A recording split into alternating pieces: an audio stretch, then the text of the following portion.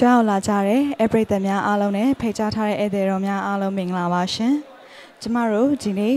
မြန်မာ Quarterly Symposium အခမ်းအနားအစီအစဉ်လေးကိုကျမကနေပြီးတော့ပြောကြားပေးပါမယ်။ Symposium ကိုကျမတို့အပိုင်း၃ပိုင်းခွဲထားပါတယ်။ပထမတစ်ပိုင်းမှာကျမတို့ ISP မြန်မာရဲ့ Deputy Director ကိုနေထွန်းနိုင်ကနေပြီးတော့ Symposium ပြုလုပ်ရတဲ့အကြောင်းရင်းကိုတင်ပြပေးပါမယ်။ တပြိုင်နက်တည်းမှာပဲ ISP မြန်မာ Peace Tax ရဲ့အကြောင်းကိုလည်းရှင်းလင်းမိတ်ဆက်ပြောကြားပေးပါမယ်ရှင်။အဲဒီနောက်မှာတော့ American တမန်ကြီးမှအမှားစကားပြောကြားပေးပါမယ်။အဲဒီနောက်မှာအိန္ဒိယနိုင်ငံတမန်ကြီးမှဆက်လက်ပြီးတော့အမှားစကားပြောကြားပေးပါမယ်ရှင်။ Symposium ဒုတိယပိုင်းမှာတော့ ကျမတို့ဖိတ်ကြားထားတဲ့ပါဝင်ဆွေးနွေးမဲ့ဧည့်သည်တော်များကနေပြီးတော့ symposium discussion section 1ကိုစတင်ပါမယ်ပြီးရတဲ့ကျမ15မိနစ်မေခွန်းနဲ့အဖြေကဏ္ဍကိုထည့်သွင်းပေးထားပါတယ်ရှင်ဒါကတော့ကျမတို့ပြုလုပ်နေကြအတိုင်းပဲ audience ကိုမေခွန်းမေခွန်းနဲ့ကျမတို့ panelist တွေကနေပြီးတော့ပြန်ဖြေတဲ့အစီအစဉ်ဖြစ်ပါတယ်အဲ့ဒီနှစ်ခုပြီးသွားရင်တော့ကျမတို့ lunch break ပေးထားပါတယ် lunch break ကိုဒီခန်းမရဲ့အနောက်ဘက်လေးမှာ buffet ပြင်ဆင်ထားပါတယ်တုံဆောင်နိုင်ပါတယ်ရှင် lunch break ကိုကျမမိနစ်20ပေးပါမယ် lunch break မိနစ်20ပြီးသွားရင်တော့ကျမတို့ symposium third round ကိုစတင်ပါမယ် symposium third round မှာလည်းဆွေးနွေးမဲ့သူများကနေပြီးတော့ပြန်လည်ပြီးတော့ဆွေးနွေးစရာကိစ္စရပ်တွေကိုတင်ပြဆွေးနွေးပါမယ်ပြီးရင်ကျမတို့အချိန်ဆက်လက်ပြီးတော့ကန့်သက်ထားတဲ့အချိန်မရောက်ချင်းဟိုအချိန်ရှိသေးတယ်ဆိုရင်တော့နောက်ထပ်15မိနစ် question and answer ကဏ္ဍကိုထည့်သွင်းပေးထားပါတယ်ဒီဒုတိယတစ်ပိုင်းရဲ့ question and answer ကဏ္ဍကတော့ဒီပွဲစဉ်ရဲ့အချိန်ပေါ်မူတည်တဲ့အတွက်ကြောင့်မို့လို့အချိန်ကိုငဲ့ကွက်ပြီးမှသာ ကျမတို့အချိန်ရှိသေးတယ်ဆိုရင်တော့ထပ်ပြီးတော့ထပ်ထပ်မံထည့်သွင်းဖော်ပြပေးပါမယ်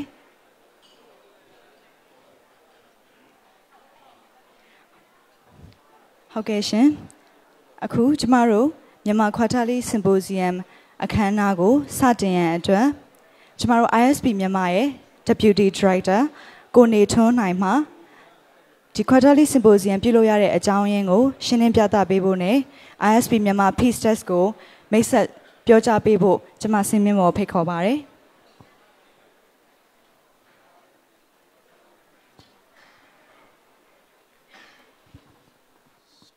အားလုံးပဲမင်္ဂလာပါအာဒီနေ့ပွဲကိုတက်ရောက်လာခဲ့ကြတဲ့သူတွေအပါအဝင်ကျွန်တော်တို့ဒီ TV အဲ Facebook ကနေပြီးတော့မှ live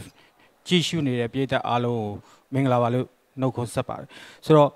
ကျွန်တော် မြန်မာ quarterly symposium အကြောင်းနည်းနည်းပြောချင်ပါတယ်ဆိုတော့မြန်မာ quarterly symposium ရဲ့အဓိက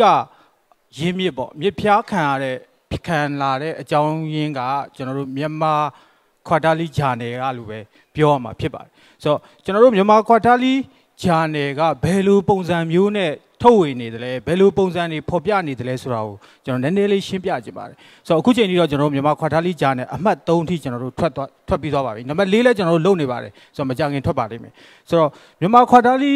ဂျာနယ်မှာဆိုရင်ကျွန်တော်တို့ကဒီအကြောင်းအရာတစ်ခုချင်းစီအလိုက်ကျွမ်းကျင်သူတွေပညာရှင်တွေသူတို့ရဲ့လေးလာတွေ့ရှိချက်တွေသူတို့ရဲ့အာသူတေသနာတွေ့ရှိချက်တွေကိုအထူးပြုဖော်ပြပါတယ်ဒါအပြင်ကိုယ်တိုင်ပါဝင်လောက်ကင်နေကြသူတွေရဲ့ အင်တာဗျူးတွေသူတို့ရဲ့အတွေ့အကြုံတွေကိုလည်းကျွန်တော်တို့ဖော်ပြပါတယ်အဲ့ဒါအပြင်ကျွန်တော်တို့ဆက်ဆက်ပြီးတော့မှလေ့လာသင့်တဲ့စာအုပ်တွေအကြောင်းကိုလည်းတွဲပြီးဖော်ပြတဲ့ book review ကဏ္ဍလည်းကျွန်တော်တို့ပါဝင်ပါတယ်အော်တကယ်တော့မြန်မာ quarterly symposium ရဲ့အနှစ်သာရကဟိုးတော့ကကျွန်တော်တို့ရှိခဲ့တဲ့ရေးသူဖတ်သူဆွေးနွေးပွဲပုံစံမျိုးပါပဲဆိုတော့ကျွန်တော်တို့စာအုပ်တွေမှာဆိုရင်လည်းကျွန်တော်မြန်မာ quarterly စာအုပ်မှာဆိုရင် အာရေးတဲ့သူတွေကလည်းတော်တော်များပါတယ်ဆိုတော့ဒီနေ့စင်ပိုစီယမ်မှာဆိုရင်ဒါရေးသားတဲ့သူ၃ယောက်ပဲကျွန်တော်တို့ဖိတ်နိုင်ပါတယ်တခုကတော့ကိုမင်းစီအဲနောက်တစ်ယောက်တော့ဒီကိုရဲမျိုးဟေးဆိုတော့နောက်ဆရာခေါမကော်ပန်ဒီ၃ယောက်ကိုပဲကျွန်တော်တို့ဖိတ်နိုင်ပါတယ်ဒါမဲ့မြန်မာခွာတာလီစာအုပ်ကိုကျွန်တော်တို့ပြန်ကြည့်ပဲဆိုရင်အခုအထူးသဖြင့်ဒီ Federal Democracy ပြည်တော်စုတည်ဆောက်ရေးဖြစ်စဉ်တွေမျှကြီးကနဦးအဆိုပြုချက်များစာအုပ်ကိုကျွန်တော်တို့ပြန်ကြည့်ပဲဆိုရင်တော်တော်ကောင်းတဲ့ဆောင်းပါးတွေပါဝင်နေသေးတယ်စာရေးဆရာတွေကြံနေသေးတာကို ကျွန်တော်မေးနည်းနည်းလေးရှင်းပြခြင်းပါတယ်ဥမာအဖြစ်ဒီဆရာကျော်ဝင်းဆိုရင်မြန်မာလူမျိုးစုနဲ့ဒီ Federal ပေါ်စဉ်းစားချက်ဆိုတဲ့ဆောင်းပါးတစ်ခုကိုရေးခဲ့ပါတယ်တော်တော်ကောင်းပါတယ်ဟိုကျွန်တော်တို့အရင်ကအဲတိထားတဲ့အကြောင်းအရာတွေအပြင်ကိုထပ်ပြီးတော့မှကျဲတွင်းရေးထားတဲ့ဆောင်းပါးတစ်ခုအဲ့ဒီကျွန်တော်တို့ဒီဒီမြန်မာခွာထားလေးအမှတ်နှစ်ဒီ Federal အကြောင်းဆောက်ထဲမှာပါခဲ့ပါတယ်တခါကျွန်တော်တို့ Ashley ဆောက်ရေးထားတဲ့ဒီ Federal စနစ်ကမြန်မာနိုင်ငံမှာဖြစ်နိုင်ပါမလားဆိုတဲ့ အဲသူရဲ့စိုးရိမ်ပူပန်မှုနဲ့လက်ရှိဖြစ်နေတဲ့အခြေအနေပေါ်မှာတွဲပြီးရှင်တွဲဖော်ပြတဲ့ဆောင်းပါးဆိုရင်လည်းဟိုကျွန်တော်တို့အလေးဂရုပြုတဲ့ဆောင်းပါးတစ်ခုဖြစ်ပါတယ်ဒါအပြင်ကျွန်တော်တို့အိန္ဒိယ Federal Model အိန္ဒိယ Model Federal ပုံစံမျိုးနဲ့နှိုင်းယှဉ်ပြီးတော့မှမြန်မာနိုင်ငံရဲ့ Federal ပြဿနာကိုရေးသားထားတဲ့ဗတ်တစ်လစ်နာရဲ့ဆောင်းပါးဆိုရင်လည်းကျွန်တော်တို့ကောင်းမွန်တဲ့ဆောင်းပါးတစ်ပုဒ်ပဲဖြစ်ပါတယ်တခါကျွန်တော်တို့ဂျာမနီနဲ့အီတလီမှာ ရှိတဲ့ဒီဖြစ်ခဲ့တဲ့ဒီနိုင်ငံတော်တည်ဆောက်ရေးဆိုင်ရာတွေနောက် Federal ဝါဒဆိုင်ရာကိစ္စရပ်တွေကိုရေးထားတဲ့စာအုပ် book review ရေးထားတဲ့ကမလာဘူစီရဲ့ဒေါက်တာကမလာဘူစီရဲ့ဆောင်းပါး book review อ่ะဆိုရင်လည်းကျွန်တော်တို့အဲတတိထားတတိပြုစရာဖြစ်ခဲ့ပါတယ်တခါကျွန်တော်တို့ဒီအဲပညာရေးပိုင်းဆိုင်ရာသူတေသနာတွေ့ရှိချက်တွေနဲ့တမိုင်းဆိုင်ရာတမိုင်းဆိုင်ရာတန်ဖိုးယဉ်ကျေးမှုအချက်လက်တွေနဲ့တွဲပြီးရေးခဲ့တဲ့ အာဆရာမင်းခမောင်ရဲ့ဆောင်းပါးဆိုရင်လည်းကျွန်တော်တို့သတိပြုစရာဖြစ်ပါတယ်ဒါတွေကိုကျွန်တော်ပြန်ပြောရတဲ့အကြောင်းရင်းကကျွန်တော်တို့ဒီနေ့အဲဒီစာအုပ်ကိုခြေတီးပြီးဆွေးနွေးကြတဲ့အခါမှာစာရေးဆရာ၃ယောက်ပဲရှိတယ်ဆိုပေမဲ့လို့ကျွန်တော်တို့ကြံခဲ့တဲ့စာရေးဆရာတွေအများကြီးရှိပါတယ်အဲအဲ့ဒီလူတွေလည်းကျွန်တော်တို့ဒီအခြေအနေရဒီအနေထားရကျွန်တော်တို့အကုန်စုံအောင်မဖိတ်နိုင်တဲ့အနေထားမျိုးဖြစ်ပါတယ်ဆိုတော့သဘောကတော့ကျွန်တော်တို့မြန်မာခွာထားလီစင်မိုဇီယန်ဆိုတာကအာ ဒီဟာတွေကဆက်ပြီးတော့မှကျွန်တော်တို့ဆွေးနွေးရမယ့်အကြောင်းအရာတွေဖြစ်တယ်ဆက်ပြီးဆွေးနွေးစရာတွေဖြစ်တယ်ဒါကိုကျွန်တော်တို့ကစာအုပ်ထုတ်ရုံနဲ့ရက်မသွားဘဲနဲ့ဒီအကြောင်းအရာတွေဆက်ပြီးဆွေးနွေးစီဖို့အတွက်ကွာတာလီစီမိုစီအောင်ဆက်ပြီးပြုလုပ်တိုက်ပြုလုပ်ရခြင်းဖြစ်ပါတယ်ဆိုတော့တကယ်တော့ကျွန်တော်တို့ Federal ဆိုတာကငင်းချမ်းရေးနဲ့ခွဲမရပါဘူးတခါ Federal ဆိုတာကလည်းငင်းချမ်းရေးရဲ့အတီးအပွင့်လို့ပြောလို့ရပါတယ်ဆိုတော့ဒီနေရာမှာငင်းချမ်းရေးလို့ဆိုရမှာကျွန်တော်အနေနဲ့ကျွန်တော်တို့ ISP က လှုပ်တဲ့အစီအစဉ်တစ်လေးတစ်ခုအကြောင်းကိုမိတ်ဆက်ဖို့မိတ်ဆက်ချင်တဲ့အကြောင်းအရာတစ်ခုရှိပါတယ်အဲ့ဒါကတော့ကျွန်တော်တို့ ISP Peace Tech ဆိုပြီးတော့မှကျွန်တော်တို့လုပ်နေတာပါအဲ့ဒီ website လေးအကြောင်းကိုကျွန်တော်နည်းနည်းလေးမိတ်ဆက်ပေးချင်ပါတယ်ဗျဆိုတော့ဒီ ISP Peace Tech ကကျွန်တော်တို့ငြိမ်းချမ်းရေးအတွက်အားထုတ်မှုမှန်သမျှကိုကျွန်တော်တို့ဖော်ပြဖို့အတွက်ပြင်ဆင်ထားပါတယ်ဒီလက်တလောကာလတွေမဟုတ်ပါဘူးကျွန်တော် website home page လေးကိုကျွန်တော်ပထမဆုံးကြည့်ကြည့်စေချင်ပါတယ်ဆိုတော့ဒီမှာဆိုရင်ကျွန်တော်တို့ ဒါကျွန်တော်တို့ ISP Peace Tech website ရဲ့မူလ main page ဖြစ်ပါတယ်အဲ့ဒီမှာကျွန်တော်တို့ကဏ္ဍ၅ခုခွဲထားပါတယ်ဆိုတော့ဆက်ဆက်အခြေအနေတွေပါမယ်ကျွန်တော်တို့ design ပိုင်းဆိုင်ရာတွေပါမယ်နောက်ဒီငိမ့်ချမ်းရေးမှာပါဝင်ပတ်သက်လုပ်ကင်နေသူတွေအကြောင်းပါမယ်နောက်လုပ်ငန်းစဉ်တွေအကြောင်းပါမယ်တခါကျွန်တော်တို့လေ့လာတွေ့ရှိချက်တွေပါမယ်ဆိုတော့ဒီကဏ္ဍကိုဒီကဏ္ဍ၅ခုကိုအထူးပြုပြီးကျွန်တော်တို့ဖော်ပြမယ်ဒီ website မှာ လက်ရှိလုံးနေတဲ့ကျိုးပန်းနေတဲ့ငိမ့်ချမ်းရေးဖြစ်စဉ်အကြောင်းအရာတစ်ခုတည်းကိုမဟုတ်ဘဲနဲ့ပြည်တွင်းစစ်နဲ့အတူပေါက်ဖွာလာတဲ့1948နောက်ပိုင်းကတည်းကကျွန်တော်တို့အထောက်အထားတွေမှတ်တမ်းမှတ်ရာတွေလေ့လာစရာတွေအဲ့ဒါတွေအကုန်လုံးကျွန်တော်တို့ဖော်ပြသွားမှာဖြစ်ပါတယ်တခါဒါတွေနဲ့မလုံလောက်သေးပဲနဲ့အခုလက်ရှိလုံနေတဲ့21ရာစုငင်းချမ်းရေးပင်ငင်းချမ်းရေးညီလာခံနဲ့ပတ်သက်တဲ့အကြောင်းအချက်ကိုလည်းကျွန်တော်တို့အထူးပြုကဏ္ဍအနေနဲ့တခုထည့်သွင်းထားပါတယ် next slide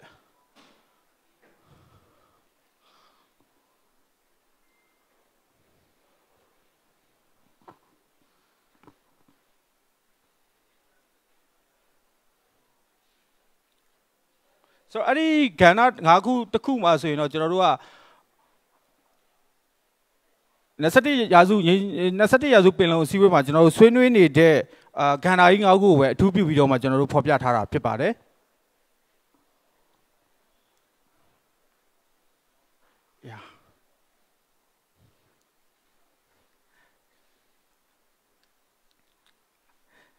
ဒီကမှာဗျာဆိုတော့ technical ဘိုင်းအဲ့ဒါလေးနည်းနည်းလေးရှိသွားတယ်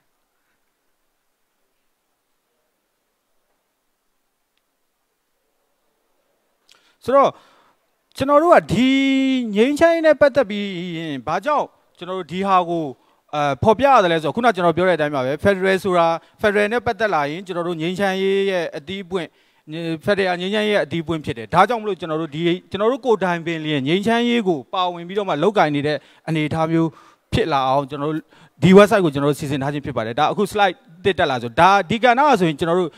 ပြည်တော်စုငင်းချမ်းရေးညီလာခံနဲ့ပတ်သက်ပြီးတော့မှ အဲအထူးပြုထားတဲ့ကဏ္ဍတစ်ခုဖြစ်ပြီးတော့မှဒါကကျွန်တော်တို့ ISP Peace Test မှာပါလာမှာဖြစ်ပါတယ်ဒါကတော့ဒီ၅ခုကတော့ကျွန်တော်တို့ခန္ဓာကြီး၅ခုဖြစ်ပါတယ်ကျွန်တော်တို့အခုလက်ရှိပြည်တော်စုငင်းချမ်းရေးညီလာခံမှာဆွေးနွေးထားတဲ့ခန္ဓာကြီးကဒီ၅ခုထဲမှာပါဝင်တဲ့အချက်လက်တွေကိုကျွန်တော်တို့ဘယ်လိုပေါ်ပြထားသလဲဆိုတာကဒါဟိုဥပမာတစ်ခုဖြစ်ပါတယ်ဒါနဲ့ပတ်သက်လို့ကျွန်တော်တို့ငင်းချမ်းရေးနဲ့ပတ်သက်ပြီးတော့မှကျွန်တော်တို့အထောက်အထားတွေမှတ်တမ်းမှတ်ရာတွေကထောင်ချီပြီးကျွန်တော်တို့ရှိပါတယ်အဖွဲ့အစည်းတည်တည်ကလည်းဒီဟာကိုအားထုတ်ပြီးလုပ်ကိုင်နေကြတာရှိပါတယ်ဒါပေမဲ့အဲ့ဒီ အချက်အလက်တွေအဲ့ဒီအထောက်ထားတွေကိုတနေရာထဲမှာအဲစွစွစည်းစည်းမြင်ရဖို့ကခက်ပါတယ်ဆိုတော့အဲ့ဒီလိုဖြစ်နေတဲ့ quality တစ်ခုကိုဖြည့်ဆည်းပေးခြင်းတဲ့အနေနဲ့ကျွန်တော်တို့ဒီ website ကိုလောက်ရရင်ရည်ရွယ်ချက်တစ်ခုလည်းဖြစ်ပါတယ်ဆိုတော့တခါတည်းတစ်လက်စားလည်းကျွန်တော်တို့ဒီဟာနဲ့ပတ်သက်ပြီးတော့ကျွန်တော်တို့အချက်လက်တွေကျွန်တော်တို့အခုထည့်သွင်းနေတယ်ဒီစက်တင်ဘာလကုန်ဆိုရင်တော့ကျွန်တော်တို့အချက်လက်တော်တော်စုံစုံလင်လင်ကိုကျွန်တော်တို့ထည့်သွင်းနိုင်မယ့်အနေအထားဖြစ်ပါတယ်ဆိုတော့တစ်လက်စားလည်းပဲဟိုကျွန်တော်ဒီ peace test ကိုလုံးနေတဲ့သူတွေနဲ့မိတ်ဆက်ပေးကြပါတယ်တယောက်ကတော့ဒီကျွန်တော်တို့ကိုကြီးကိုအောင်သူငင်းဖြစ်ပါတယ်သူကတော့ကျွန်တော်တို့ communication director ကျွန်တော်တို့ ISP ရဲ့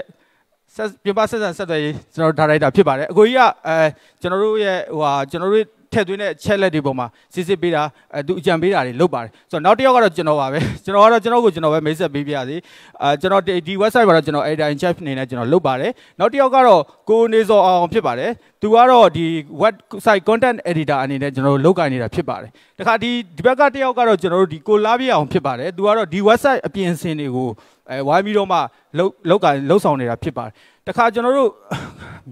မျိုးမျိုးကျော်ဆိုတဲ့တယောက်ရှိပါတယ်သူကတော့ဒီ technical assistant အနေနဲ့လုပ်ကိုင်နေတယ်လို့ပဲတခါဒီပန်စုဝေဆိုတဲ့တယောက်ကလည်းဒါသူတို့ဒီ technical assistant အနေနဲ့လှုပ်ဆောင်နေပါတယ်လောလောဆယ်မှာတော့ကျွန်တော်တို့ ISP team တခုလုံးကဒီ piece test အတွက်အဲလှုပ်ဆောင်နေတာဖြစ်ပါတယ်ဒီစက်တင်ဘာလကုန်မြင်တော့ကျွန်တော်တို့ဒီ website ကိုဘယ်သူမှဆိုဝင်ကြည့်လို့ရနိုင်ပြီးတော့မှဘယ်သူမှဆိုလိုအပ်တဲ့အချက်လက်တွေကိုရှာဖွေနိုင်မှာဖြစ်တယ်လို့ကျွန်တော်သတင်းကောင်းပြောချင်ပါတယ်ခင်ဗျာဆို အခုတော့ကျွန်တော် symposium အကြောင်းကိုဆက်သွားကြည့်ပါတယ်ဆိုတော့ဒီလို symposium အကြောင်းကိုဆက်မသွားခင်မှာ symposium ကျွန်တော်တို့မစခင်ပါဘောเนาะဆိုတော့ကမ္ဘာအကြီးဆုံး Federal Democracy နိုင်ငံကြီးနှစ်ခုဖြစ်တဲ့ဒီ American ပြည်ထောင်စုနဲ့ဒီအိန္ဒိယနိုင်ငံတွေရဲ့ Federal အတွေ့အကြုံတွေကိုဆွေးနွေးအဲ သူတို့ရဲ့အတွေ့အကြုံကိုမျှဝေပေးမဲ့ဒီမြန်မာနိုင်ငံဆိုင်ရာတာအမတ်ကြီးတွေရောက်ရှိနေပါတယ်ဆိုတော့သူတို့အထူးဖိတ်ကြားထားတာလည်းဖြစ်ပါတယ်ဒီတာအမတ်ကြီးတွေကိုဆိုတော့သူတို့ကသူတို့တက်ဆက်ရာနိုင်ငံအသီးသီးရဲ့ Federal အတွေ့အကြုံတွေကိုအရင်ဆုံးရှင်းပြပါလိမ့်မယ်ခင်ဗျ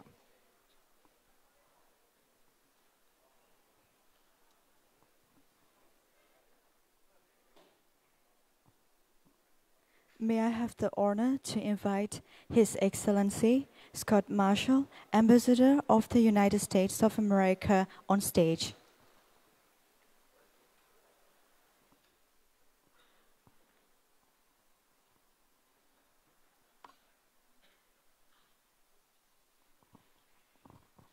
Thank you. Hello, Minglava. Um, I want to thank uh, ကျွန်တော်အနေနဲ့ Vincent and ISP for ISP ကိုလည်းကျေးဇူးတင်ပါတယ် organizing this. ဒီဒီ Where's Vincent? Did he leave already? ကိုမင်းစင်ဟိုကျေးဇူးတင်ပါတယ် Um, and uh, ပြီးတော့ uh, thank my good friend and မိုက် colleague, တာ Master Misri, for joining, uh, အာ for joining မိတ် as ဆွေတွေကို well. လည်း Uh, ဖိ it's တ် an ကြားပါတယ် opportunity for us ကျွန်တော်တို့ from India and the United States to talk a little bit ဒီမှာပေါ့လေ about our experience. ဒီမှာကျွန်တော်တို့ရဲ့ကျွန်တော်တို့ရဲ့ဒီအတွေ့အကြုံတွေကိုအနည်းငယ်ပြောပြရဲ in ဆို the လို့ကျွန် hopes that တော် perhaps uh, some of our own experience ချို့ will be ဒီ useful အဲအတွေ့အကြုံတွေကတော့ဟို as you discuss how to build federalism. ဖက်ဒရယ်နဲ့ပတ်သက်ပြီးတော့ပေါ့လေ Federalism in our ဖက်ဒရယ် country, စင်မှာ um, the history ကျွန်တော်တို့ဒီ is တ important. မိုင်းဟာအ Um, ရေးကြီး Our ပါတယ် country was ကျွန်တော်တို့နို founded င်ငံ uh, က by 13 different colonies ဒီကိုလိုနီ73ခုနဲ့ဖွဲ့စည်း and ခဲ့တာပါ decided to join together and form a country. And from the very beginning, ကျွန်တော်တို့အစတုန်းက there စတဲ့ was ခါ a ကျ နိုင်ငံအတွင်းမှာတ about ပိတ်ဖြစ်ခဲ့ပါလေ how strong ဘယ်လောက် the central government should be ဒီ central government ကဘယ်လောက်ထိ and how အား much ကောင်းတင်တယ် power လဲ should ပေါ့ rest ဒီ with မှာ what became the states. ဒီတခြားပြည်နယ်တွေမှာ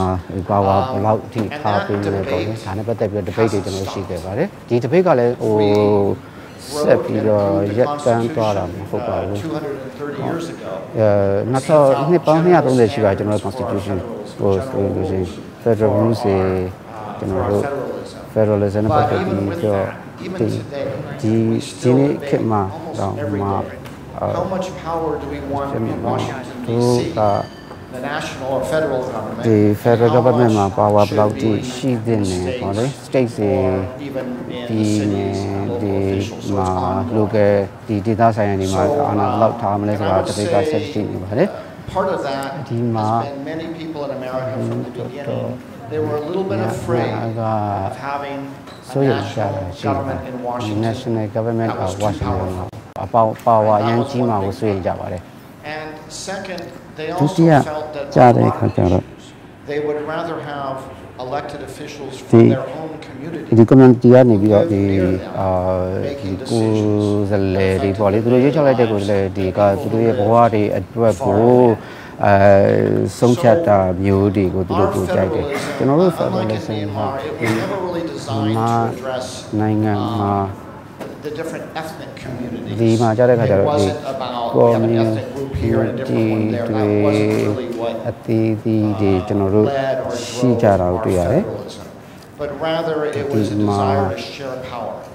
power was shared power ကို between the ပေါ့လေ national ကျွန် level, တော်တို့က the state national level နဲ့ state level တွေမှာဘယ်လို share လုပ်မလဲဆိုတာ And, ကို and also part of that was တော့ because ဒီမှာဒီအစိတ်ပိုင်း there တစ် was ခုအနေ great နဲ့ပေါ့နော် differences within our country. ကျွန်တော်တို့နိုင်ငံတွေမှာဆိုတော့ဒီမ We တူ have ကွဲပြား some မှုတွေ parts အ of များ our ကြီးရှိတယ် country that are very conservative. ကျွန်တော်တို့ဒီ other parts conservative that are တွေ quite လည်းရှိ Uh, we တယ် have some parts of our, ပြီး our တော့ country that are very ethnically and ဒီ religiously diverse. အဲ In other parts, ethnic နဲ့လည်းလူမျိုးရေးနဲ့ပေါ့လေကျွန်တော်တို့ဒါဘာသာရေးအရာကွဲပြားခြားနားမှုရှိတဲ့ဒေသတွေလည်းကျွန်တော်တို့ရှိကြတယ်အဲ့တော့ but ကြောင့် allowed a lot of power and responsibility to stay with the ဒီ states. မှာ state တွေအတွက်ပေါ့လေ local government တွေအတွက်ကိုလုံလောက်တဲ့ power တွေပေးနိုင်ပြီးတော့ပေးဖို့အတွက်ပေါ့လေပြီးတော့ဒီ data ဆိုင်ရာမှာအဲ ဆုံးဖြတ်ချက်တွေချဖို့အတွက်ကိုလုံလောက်တဲ့ဒီအာ We have အခွင့် obviously အာ a ဏာတွေ national ပေးဖို့ government. ကျွန်တော်တို့က national government ဆိုတာရှိတယ် responsible for things that only national governments Yeah, can do. Uh, defense, ဥပမာကာကွယ်ရေး foreign relations, ဒီ foreign relation international trade, international trade ပေါ့ trade ဒီ within the states and among the states. ဒါက Um, ဒါတွေ and ကြ over တော့ the years, national it's developed အစိုးရ much ကို more, but ဒီ those were always the ပေးတာဒီ rule ဒီ rule တွေကြတဲ့အခါကျတော့ဒါက federal အစိုးရကို national အစိုးရကိုပေးတာလေ to set to approve national laws ဒီ and a မှာ national court system. ဒီမှာ national အဲ့ဒါတွေနဲ့ပတ်သက်ပြီးတော့ပေါ့ national law တွေရှိပေါ့ပြီးတော့ state တွေမှာကြားတဲ့အခါကျတော့ကျွန်တော်တို့ um, are responsible. They, they play a big role in education, အဲ့တော့ပညာရေး infrastructure, road infrastructure building, တို့ပြီးတော့ uh, land health, transport တို့ um, all housing of these ဒါ areas, ဒီဒီ um, ကဏ္ဍ as တွေ well as မှာ law ကြားတဲ့အခါ enforcement. ကြားတဲ့အခါကျတော့ Um, and state they also တွေ have a state legislature. state legislature uh, ရှိတယ်လေ passes state ဒီလိုစီမှာ And then very important ဒီ in လို our အရင်အရေးကြီးတာကျွန်တော်တို့ state မှာဆိုလို့ရှိရင် local government တွေကျွန်တော်တို့ရှိတယ် cities, ကျွန်တော်တို့က sometimes city we တွေ call ရှိနေ counties, တယ် which would be ကောင်တီ like တို့ towns, ခရိုင်ပုံစံမျိုးပေါ့ဟို district တွေမြို့နယ်တို့ခရိုင်ပုံစံမျိုးတွေကျွန်တော်တို့ရှိတယ်ပေါ့နော် Those governments actually have a lot of responsibility. That's what the, they oversee the police. ဒါ The police are done, are, uh, are handled or managed at a local level. local level မှာပေါ့လေကျွန်တော်တို့ဒီမှာ Uh, they ဟို play a very ပိုင်း big တွေ့တာ role in education, and I'll talk more about that education later. So when we structure this, You know, one thing the- that's really important to understand ဒီ is structure we လုပ်တဲ့ have အခါ three မှာ layers, ရေး national, နာ state, နားလည်ဖို့လိုပါ and local. national uh states involvement မှာ Each- ပေါင်းပတ်သက် in မှု each ကို case, ဒီ case တစ်ခုချင်းတစ်ခု people ချင်းမှာ elect, ဒီတွေက um, either a president or at the state level, a governor, kind of a chief ဒီ minister. governor တို့ chief And at minister the local တို့ level, ဒီ it might ဒီ be a mayor of a အာ city, local level or မှာ a ဒီ city council, the or, mayor uh, the some city other, council uh, တို့ပြီးတော့ local တခြား local organization. And organization then တွေ at ပေါ့လေ the အဲ့ဒါဒီ national ကို and state level, we ဒီ also ဟို elect ရွေးချယ် our parliaments, ရှာတယ် national ပြီး and တော့ state parliaments. national နဲ့ state အာ Now, ဒီ what's really parliament တွေ important ကျွန် to တော် say ရှိပါတယ် is, these are layers, ဒါက but one လေး layer ရာ doesn't တစ်ခုရှိပါ work or is not responsible to the next. In other words, the governor of Virginia does not work for the president of the United States. အဲ့တော့ governor Virginia ဆိုလို့ဆိုလို့ဆိုရှိရင် um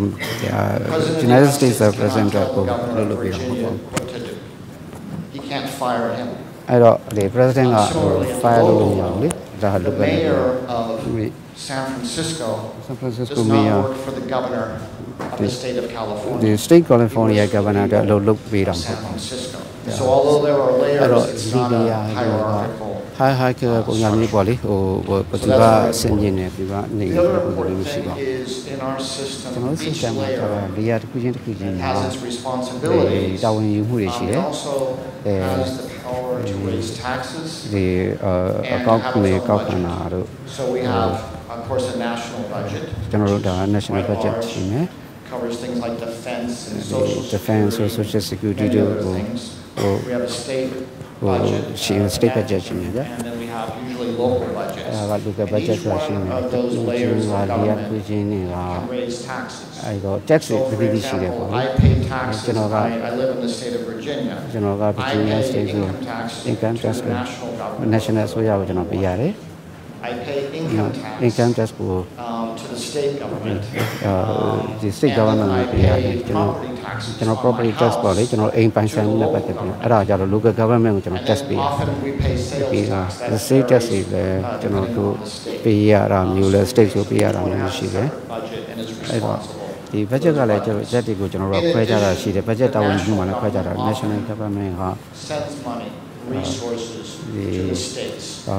to ရင်း support things မြစ် like တွေ education, ကိုလည်းပေးတာမျိုးတွေရှိတယ်ပေါ့လေဒီပြည်နယ်တွေရဲ့ပညာရေးနဲ့ပတ်သက်ပြီးတော့ပံ့ပိုးပေးဖို့အတွက် I ပေါ့ want လေ to အရင် talk about um, two specific ပြီးတော့ important sectors, ဒီ sector နှစ် education ခုဟိုအရေး and ကြီး the တဲ့ security ဒီ sector. security နဲ့ This is education sector again, ပါ this is about how it's done in the United States, Ah, not ah, so, yeah, necessarily yeah, how yeah. you want to do it here. ဟိုလောက်တာပါမြန်မာနိုင်ငံမှာလောက်ရမလို့ဆိုတော့ Um, we မ have ဟုတ် a, ပါ a national education department of national education. department And နဲ့ they set very general education standards. ဒီမှာ general standard တွေချမှတ်တယ်အရေးပွား And then standard တွေ each ချမှတ်တယ် state ပြီးတော့ state တစ်ခုချင်းတစ်ခုချင်း has စီက its own standards that it သူ sets. တို့ဟို They ဟာ have- သူတို့ကသူတို့ပေါ့လေ they own can't standard တွေရှိတယ် conflict with the national standards, but they often are much more detailed. ဒါပေမဲ့သူတို့ကပေါ့လေဒီသူတို့ရဲ့ဒီ state ရဲ့ဒီဟိုဟာမှာကြားတဲ့အခါကျတော့သူတို့ကအသေးစိတ်တွေပါတော့ပေါ့ What we call school districts. Uh, It's at the local level. It's separate from the elected city government. It's a separate group usually. It's called, usually called a ဒီ school board. school board တွေ And တူ they're ရှိ the တယ် ones who make a lot အဲ့ of တော့ decisions အဲ့ about တော့ school board တွေ curriculum, ကနေပြီးတော့ uh, decision တွေချမှတ်တာမျိုးတွေလုပ်ကြပါတယ် tax ဒီ policy, raising money for the schools. Uh, These are the ones who school make စေ the ကျောင်းတွေ decisions. အတွက်ပေါ့လေ So ဟာတက် They တွေ hire the school principals, ကျောင်းကြီးခံရတာ and so တို့ on. So it's, education is very local. education က in the တော့တ United ကယ်ကို States, အာ and it ဒေတာ varies ဆိုင်ဖြစ် greatly တယ် uh, ပြီး from တော့ place to place. အာဟိုနိုင်ငံ Yeah, there are နေရာတစ်ခုနဲ့ fundamental တစ်ခု things that နဲ့ are လည်း everywhere. ဟောချမှုရှိပါတယ် Related to that Ito. um, is the important issue of language. Um, we don't have an official language uh, official language machine. uh, to choose the, the, uh, the official language machine to be in uh, English but uh, to be my channel official uh, language that with them as far as who maybe came to this country not speaking uh, came to our country not speaking English. English so we, it, we do a lot of programs teaching uh, students English as part of their အင်္ဂလိပ် studies. စာကို But we သူ try တို့ရဲ့ also ဒီ not to သင် discourage ကြား people မှု from speaking their mother tongue. ဒီဘာသာစကားနေဟိုကျွန်တော်တို့သင်ကြားပေးတာရှိတယ်ဒါပေမဲ့လို့သူတို့ရဲ့မိခင်ဘာသာစကားဒီပြောဖို့အတွက်ကိုလည်းကျွန်တော်တို့ဒါဒီပံ့ပိုးပေးတာမျိုးတွေကျွန်တော်တို့ရှိပါတယ်အာတို့ဒီဟိုလောက်ကန်ရရှိဖို့အတွက်ကြတဲ့ခါကျအင်္ဂလိပ်ကအရေးကြီးတယ်လေ Doesn't discourage အဲ့ them. တော့ဟိုသူတို့မိခင်ဘာသာစကားတွေကိုပြောဖို့အတွက်ကိုကျွန်တော်တို့ကဟိုအားမပေးတာမျိုးဒါမျိုးကျွန်တော်တို့မလုပ်ပါဘူး Um, security. uh, Security sector. နဲ့ပတ်သက် I တဲ့ wanna address security this sector. because I, I get asked a lot about ကျွန် this တော် here. ဆိုလို့ And ရှိ there's ရင် some misunderstandings ဒီ about နာ how it's လေမှုလွဲတာပေါ့လေ of ကျွန် course, တော် the national ဒီ military. Army, ဒီ Navy, national military ဆိုတာရှိတယ်ပေါ့လေ army that's navy for the whole nation. ဒါကနိုင်ငံတစ်ခုလုံးတက်ပါ Um, ပြီးတော့ most of the police work, law enforcement, law as I enforcement ပေါ့လေ mentioned, is done at the local level. ဒါတွေကကြတော့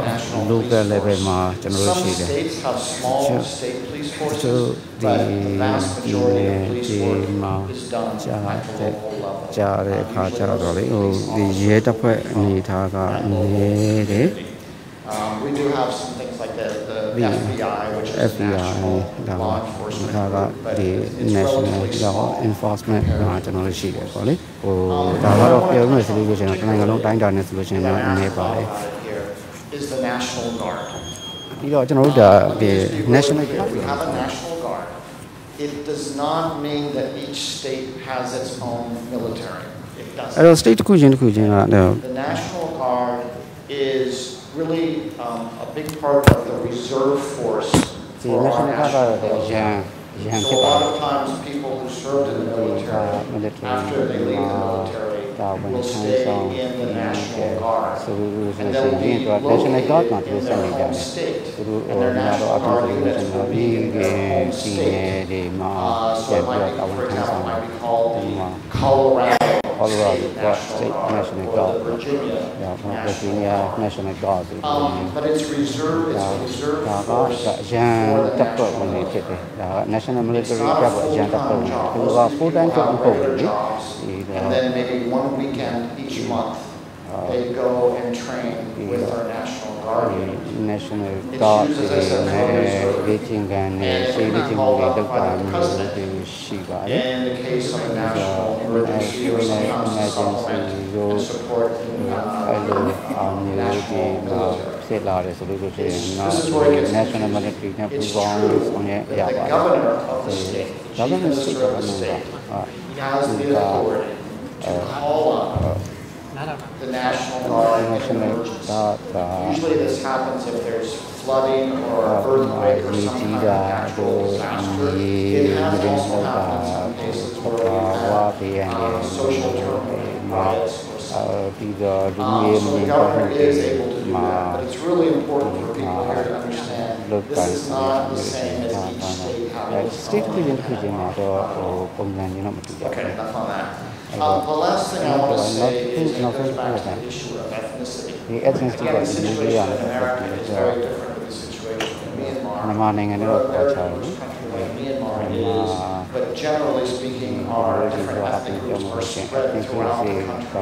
rather than all in a certain area. So it's a different situation. နေ And သား as I စ said, တာ our တော့မ Constitution တူကြဘူး and our federalism Constitution မှာ was တော့ never designed Federalism မှာ design လုပ်ထားတာက to address ethnicity ethnic differences. ဒီဟို But ဒီ ethnic က here's နာ what we ဒီ try to do. ကိုသိရှင်းဖို့အတွက်ကိုထည့်ထားတာရှိပါ Because we have a lot of uh, power and responsibility at the local level. local level မှာ If power we and have responsibility ရှိ large ပါတယ် communities of certain ethnic technique as is a religious group have yeah, through the Google politics will not influence the And so there may be some programs that are tailored for something like that, but not really down the thread. So they have influence that way. We have flexibility because local officials decide how they want to address these things. And the second thing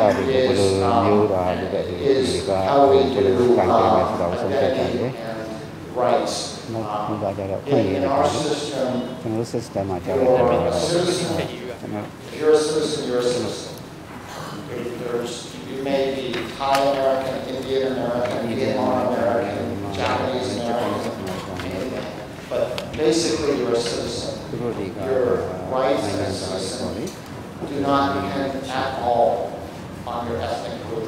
အ or ခွင့် your အရေးတွေ religion. နဲ့ And uh, we, we don't have a national ID. အဲ့တော့ national ID ကိုကျွန်တော်ကြည့်ရအောင်ဆိုရှင် Driver's license is what we use for ID is issued by the states. It doesn't mention our ကျွန် ethnicity တော်တို့ FSC ဒီ or မျိုးကို our ပေါ်တာကျွန် religion. တော် We တို့ do ဘာသာ that ရေး for ကို our own ပြတာ reasons. Um, but I just want to stress, we're very aware of our ethnicity. ကျွန်တော်တို့ We FSC are proud of our different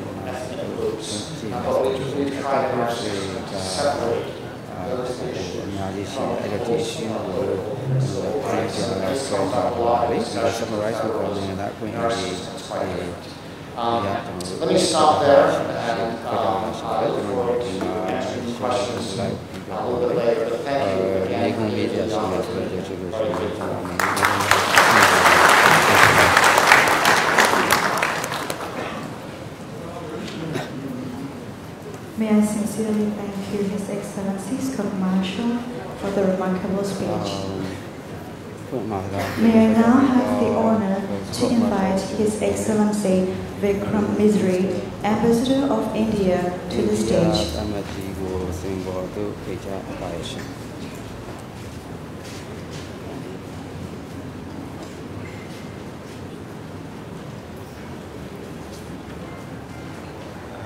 အမကြီးကိုစင်ပေါ်တို့ဖိတ်ကြားပါရရှင် Minglava, good morning. အဲမင်္ဂလာပါ Uh, First of all, uh, let me thank Homin for ဟို inviting me here today. Uh, It's a ကျွန်တော် privilege ဖိတ်ကြားရ and တဲ့ an အတွက် honor. ကျေး And ဇူး thank you also to the ရှိပါ uh, တယ် team at uh, အဲ IC. စီးတစ်ခုလုံးကိုလည်း Very FD glad တစ်ခုလုံးနဲ့ to ကျွန် be တော် here in the company of my very good friend and colleague, Ambassador Scott Marcel of the United States, uh, to share some thoughts on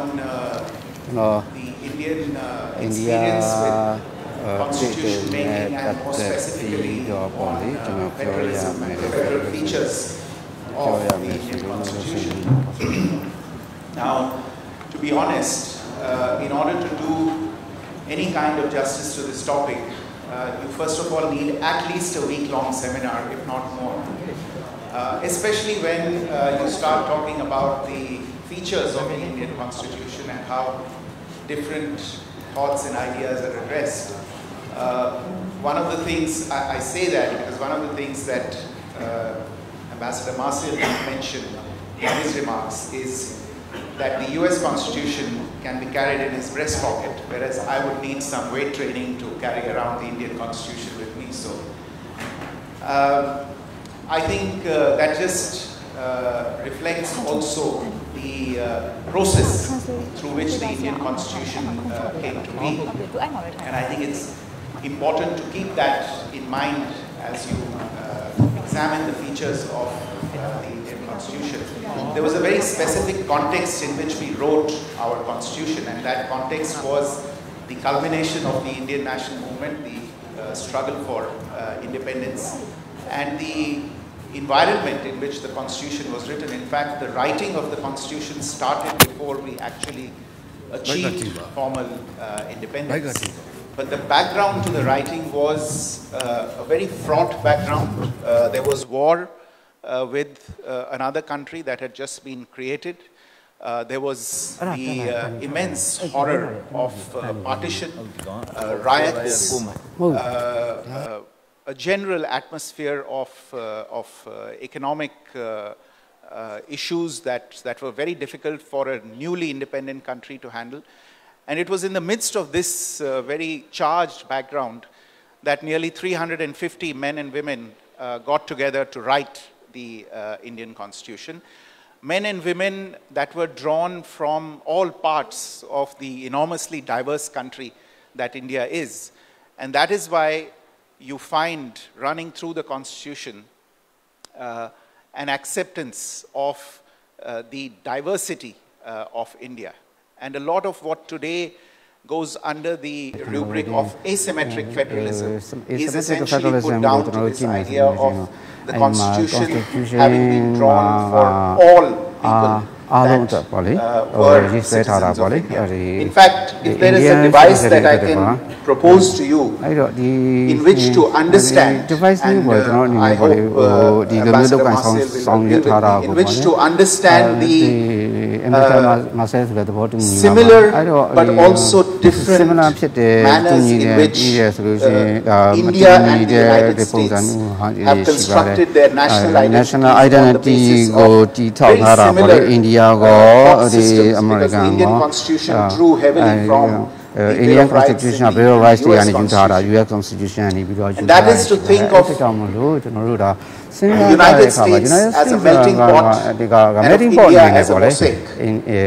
Both of them နှစ်ခုလုံးကပေါ့လေကျွန် constitute တော် an essential unity, ဒီ but are slightly constitution က different ဒီ in အ their ဓိကပေါ့လေ approaches. ဟို But I approach think တွေကတော့ both ပါချ achieve တယ် the ဒါ same ပေမဲ့ end of constructing a nation နေ where ဒီ everybody နိုင်ငံတစ်ခု is treated နိုင်ငံ with တစ်ခုကိုတည်ဆောက်မှုကမှာ equality, နိုင်ငံတစ်ခုလုံးကို and has the rights that are stability dignity guaranteed ပေါ့ by the rights တွေက Constitution. guarantee guarantee လုပ် Now, ထားတဲ့ constitution ရဒါတွေကတော့ After နိုင်ငံမှာ you တူပါတယ်ပြီး have တော့ကြတော့ got over ကျွန်တော်တို့ဒီ the မှာ uh, context of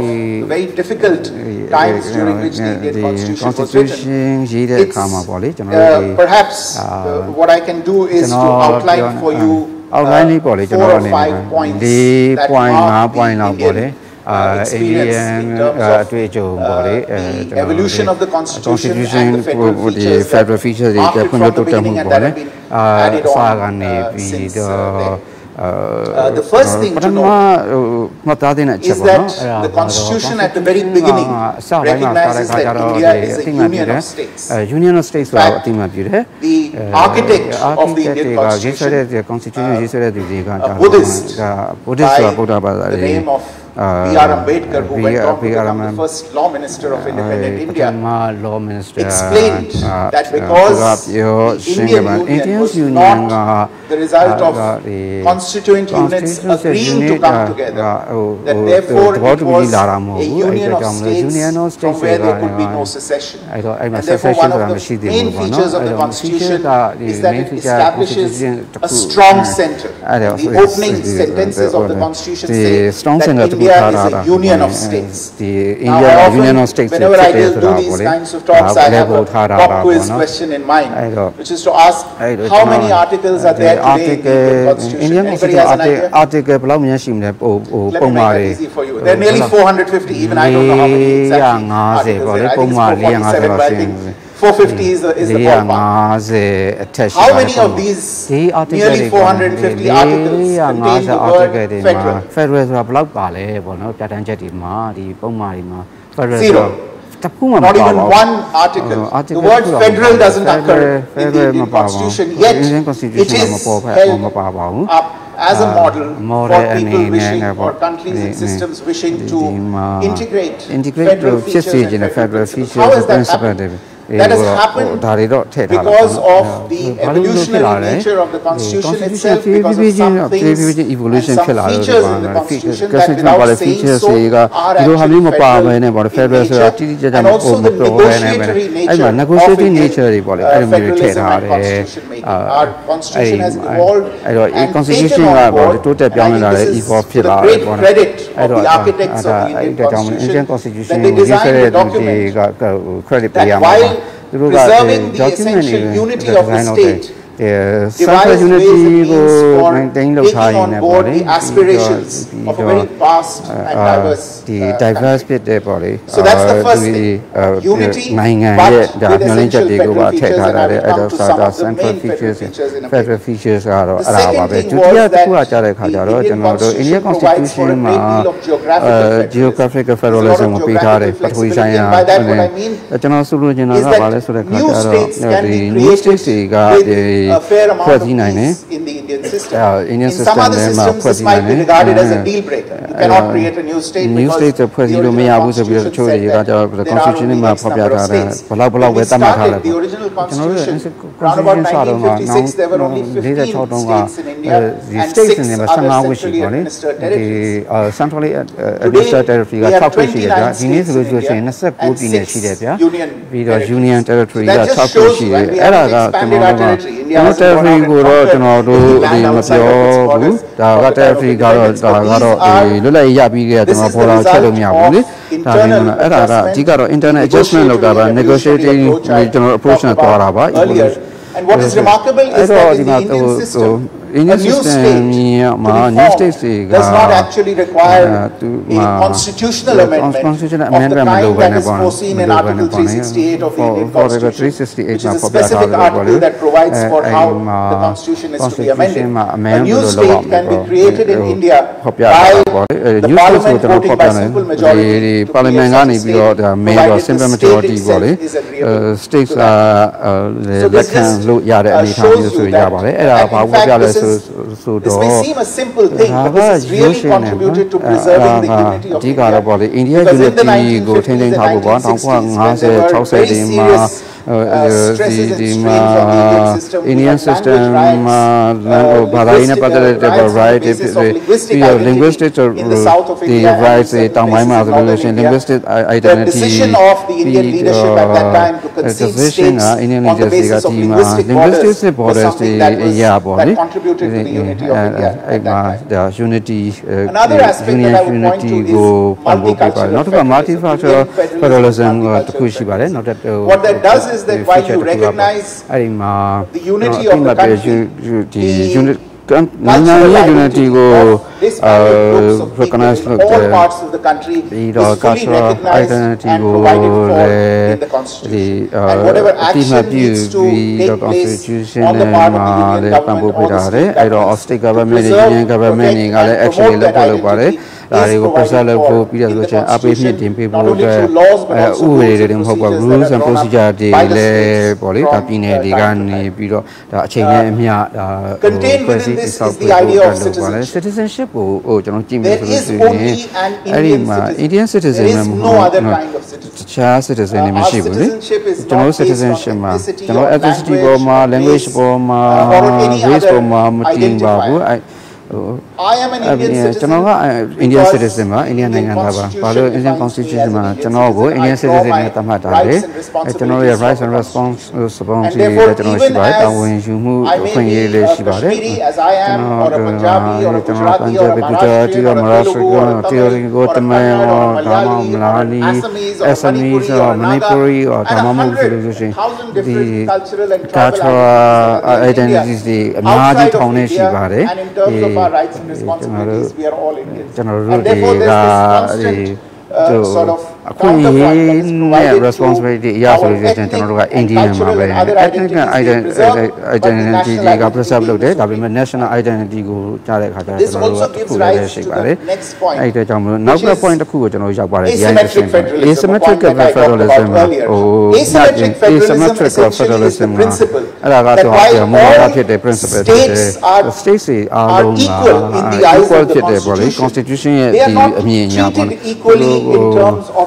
certain specific တချို့ issues. issues တွေမှာကြားတဲ့အခါ Now, ကျ one of the တော့ things, very specific issue တွေမှာကြားတော့ဒါ straightforward point ဒီ is if you treat compare since treatment လုပ်တာ Ambassador Marcel is ကတော့ here, equal ဖြစ်ချင် all ဖြစ် states နေ in, all in states the တွေမှာ United United States States can မှာ only ဖြစ် send နေ two နေ senators each. ဒီ So no matter whether it's the smallest state, whether it is Maine or, or whether it's the largest state, California or New York, California they only send York two senators each. senator ပေါ့လေ Whereas တော် in the မှာနှစ် Indian ယောက်နှစ်ယောက်ပို့တယ် system, Indian it is system the မှာကြားတဲ့အခါကျ population of a population state ရ that ပေါ့လေ determines how many ရ people ပေါ့လေ go to ဒီ the upper house upper as house well as ကို the ဘယ်လောက်သွားမယ် lower house. lower house So ကိုဘယ် that လောက် is သွား an မယ်ဆို example တော့ of population asymmetric လူကြီးရပေါ့အဲ့ဒါကြောင့်မို့ကျွန်တော် federalism. asymmetric Uh, federalism don't ခေါ်ပါတယ် necessarily- အဲ့ဒီမှာ you're not treating everybody the same, အားလုံး you're treating everybody according to their သူ needs. တို့ရဲ့ This လိုအပ်ချက်အ also ရာ goes ပေါ့လေ into ပြုမှု the ဆက်ဆံ areas တာပေါ့နော် of အဲ့ဒါ very, ကြောင့်မလို့ uh, အဲ ကျွန်တော် very တို့ important issues ရေး like ကြည့်ပါလေ revenue issue ဒါတွေ and ဝင်ငွေ taxation. ရရှိမှုကိုတက်ဆက်ပြီး It အခွင့်ကောက်ခံမှုတွေ basically မှာရေးကြည့်ပါလေ recognizes ဒီမှာ that the manner in which ဒီမှာပြ India ပါလေ came အိန္ဒိယ together က as a အတူတူ union. There ယူနီ were ဖြစ်လာတယ် areas, ဆိုတော့ there ဆို were တော့ territories ဒီ and မှာ there were territory တွေရှိတယ် constituent, area တွေရှိတယ် uh, ပြီးတော့ populations ဒီ that constituent did not have population တွေ the ရှိ same တယ်အဲ့ဒီ benefits, မှာ that ဒီ did not have the same start in benefits life. ကလည်းမ Therefore, တူညီ there's a ကြ very ဘူးပြီးတော့ဆိုလို့ရှိရင်ဘဝစတာလည်းမတူညီကြဘူးအဲ့အတွက်ကြောင့်မလို့ဒါ program တွေကျွန်တော်တို့လုပ်တယ်ပေါ့လေ that reference treats state different government တွေက groups and different ဒီ classes ဒီ class တွေ within မတူတဲ့ states differently ဒီ and makes မတူ provision တဲ့ for အား them. တွေကိုသူတို့တက်ဖို့ Asymmetric federalism, လိုအပ်ချက် therefore, တွေကို is ဖြည့်ဆ one ည်း of ပေး the တာပေါ့နော် strongest အဲ့ဒါက aspects လည်း of ဒီ asymmetric federalism ကတော့ဒါ I also mentioned India federalism ရဲ့ပေါ့လေဒီကောင်း federalism. There's အင်အားအကောင်းဆုံး lot of ဖြစ်ပါတယ် room negotiation in the Indian Indian constitution and in the constitution Indian federal experience for compromise, ဒီ for adjustment, compromise တွေကျွန်တော်လုပ်တယ် for adjustment တွေလုပ်တယ် discussions, ပြီးတော့ and for discussion solutions တွေကျွန်တော်တို့လုပ်တယ် uh, ပြီးတော့ to- to various resolution အဓိကတော့ဒီ issue တည်တည်အတွက်ပေါ့လေ Also, အာအ over ဖြေရရှိမှု nearly ပေါ့လေ50 years, a number of amendments of the 50ကျော်မှာ Constitution amendment တွေ have လည်းအများကြီးပဲ added ကျွန်တော်တို့ greater ပေါင်းခဲ့တာလေ characteristics of အဲ့ဒီမှာဆိုလို့ရှိရင် federalism to federalism our အတွက် system ပေါ့လေ of governance. ဝိသေသလက္ခဏာတွေကိုလည်းပေါင်းထည့်ထားရ New ရှိပါတယ် layers have been added layer on, စီက for လည်း example, ကျွန်တော်ထပ်ထည့်လာတယ်ဥပမာဆိုလို့ starting ဆို in the ရှင် 90s, a layer of local self-government was ခုဒီမှာ added in ဆိုလို့ရှိရင် many local states that government devolved တွေကျွန်တော်တို့က responsibilities အာ further local down, government တွေက uh, သူတို့ရဲ့တာဝန်တွေပေါ့လေ villages and- and- အဲဒီ and townships. ရွာတွေတို့ Now, မြို့နယ်အဆင့်တွေမှာ I want to အခွင့်အာဏာတွေ mention, ပေါ့ရှိလာခဲ့တာရှိတယ် specifically, ပြီးတော့ uh, အထူးသဖြင့်ကျွန်တော်ဖော်ပြမယ်ဆိုလို့ဆိုရင် treatment ပေါ့နော်ကျွန်တော်တို့ One ပြု is ဆို that အာ the တခုက uh, ကြတော့ the, the most yeah, operation or display of federalism in India can be seen through what is known as the seventh schedule seven that schedule လို့ခေါ်ပါတယ် distributes ဒီမှာ responsibilities အဲ့မှာ for responsibility different areas area of အသီးသီးအတွက်ပေါ့လေ government government အသီး between သီးပေါ့ levels of ဒီ government. And that's level အသီး essentially သီး what အတွက်ပေါ့လေ federalism is. ကျွန်တော်တို့ဒါ Separation of ဒီ powers, separate divides power separation powers, ပေးထားတယ် uh, ပြီးတော့ဆိုလို့ရှိရင် uh, vertical branches of vertical government, executive, vertical branch ပေါ့ executive legislative, legislative and judiciary ပေါ့ whereas ဒါ vertical federalism ပုံစံမျိုး separates it federalism at မှာဒါတော့ဒါတွေကို different levels of ဒီ government နောက်ထပ်က at level sector, ကို set up union, လိုက်ပေါ့ the union states, and in states certain တွေ cases, the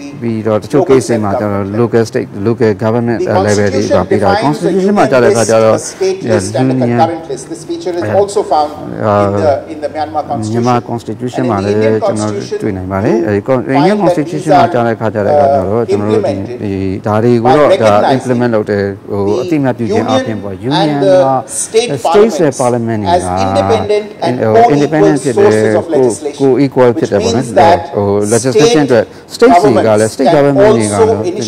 Nigala, legislation initiative area mule to them. Uh, this also means exercising power with regard to those particular areas. အဲ့ဒါ And ဒီလို as မျိုးဒါ Ambassador ဒီ Marcel mentioned security, I think I security should- မှာ I should allude to နဲ့ that ပတ်သက် as well. ပြီးတော့ပေါ့လေဟိုဒီ ambassador The marshal က police in လည်း India ပြောခဲ့ပါတယ်ဒီရဲတပ်ဖွဲ့ပေါ့လေ is under အိန္ဒိယ the မှာရှိ control of state authorities. state authority အောက်မှာရှိတယ်ဒါ Because ရဲတပ်ဖွဲ့ကဘာဖြစ်လို့လဲဆိုတော့ under the seventh schedule, ဒီ seventh schedule ရဲ့ The အောက်မှာ subject of law and order is sub- found in list law and two, order which က is the state list, uh, not the stateless union ပါ list. union And union therefore no တော့မဟုတ်ပါဘူး entity that is a အဲ့မှာ union entity union starting from the most entity powerful က person in the union entity union has the authority entity to က order even uh, one police officer police to officer go လို့ and ပေါ့လေ do something ဟို order in a လုပ်ပြီး state. တော့ That ဟို authority rests states with the chief မှာ minister of the state, uh, with the ဘာသာ leadership လို့ဘာလို့ပြောလို့မရဘူးအဓိကတော့ဗာ And လဲ that is ပြည်နယ်ရဲ့ important chief because minister law and ပေါ့ order မှာ is ပါရဲ့ recognized ဒါ as အာဏာရှိပါတယ် something that အဲ has law to and take into order မှာကြားတဲ့ account ခါကျ local conditions. local Local မှာ authorities are ရှိတယ်ပေါ့လေ better အခြေအနေ suited for တွေ that. ကိုဒါထည့်သွင်း So စဉ်းစား that's တဲ့ကြောင့် one မလို့ important local authority point ကပို့ to ပြီး keep တော့ in mind. လိုက်လွန်ကြီးတွေ The ရှိတယ် second ပေါ့ one နော်ပို့ is ပြီးတော့ that အဲအဲ့တော့ And this is something that may be of rele- relevance and interest to this audience. We have heard a lot of talk about fiscal federalism. fiscal This federalism competition over resources. the that resource is, တွေကိုကျွန်တော်တို့က a ဒီ state ကိ is စ္စ rich မျိုး in oil and state gas or oil and gold gas or ရှိ diamonds or rubies or diamond ရှိ other တယ် kinds of ruby တွေရှိ minerals. တယ် Then that ပြီးတော့ state has the authority တတ် over တူ it. တွေရှိ And why တယ် should the union take အဲ့ဒါ it and what does the union do with it? အာဟို The- ဘယ်လောက်ထိ in the ယူပြီး Indian, တော့ဘာလို့မလဲ uh, setup, ပေါ့နော်အဲ့တော့အိန္ဒိယ There မှာ is ကျွန်တော် no တို့ debate set up about တော့ this တာက at all, ဟို insofar as the constitutional scheme of things is concerned. The Indian state Indian provides state မှာ for ဘာကိုဖော်ပြထားလဲဆို grants တော့ and aid to be grants and made aid to တွေကို state ဖော်ပြတယ် governments state to government တွေ meet ပေါ့လေ their needs သူ for တို့ရဲ့ them. လိုအပ်ချက်တွေပေါ့လေအဲဒီ There ဝင် is ငွေလိုအပ်ချက် through တွေကို Article 280, Article 280 the မှာ Indian ဖော်ပြထားတယ် Constitution Indian Constitution မှာ280 establishes a finance commission. The finance commission is set up and appointed by the president. ဒီတမန်က It's ခန့်တယ် appointed every five years. There have been 9နှစ်14တစ်ချိန် finance 9နှစ်တစ်ချိန် commissions so ပေါ့လေ far. အဲ့တော့ The job of the finance commission is to 14ခုလောက်ရှိ advise ပါ the ပါပြီ president and through the president raise the report before Parliament to advise the government on how the tax revenues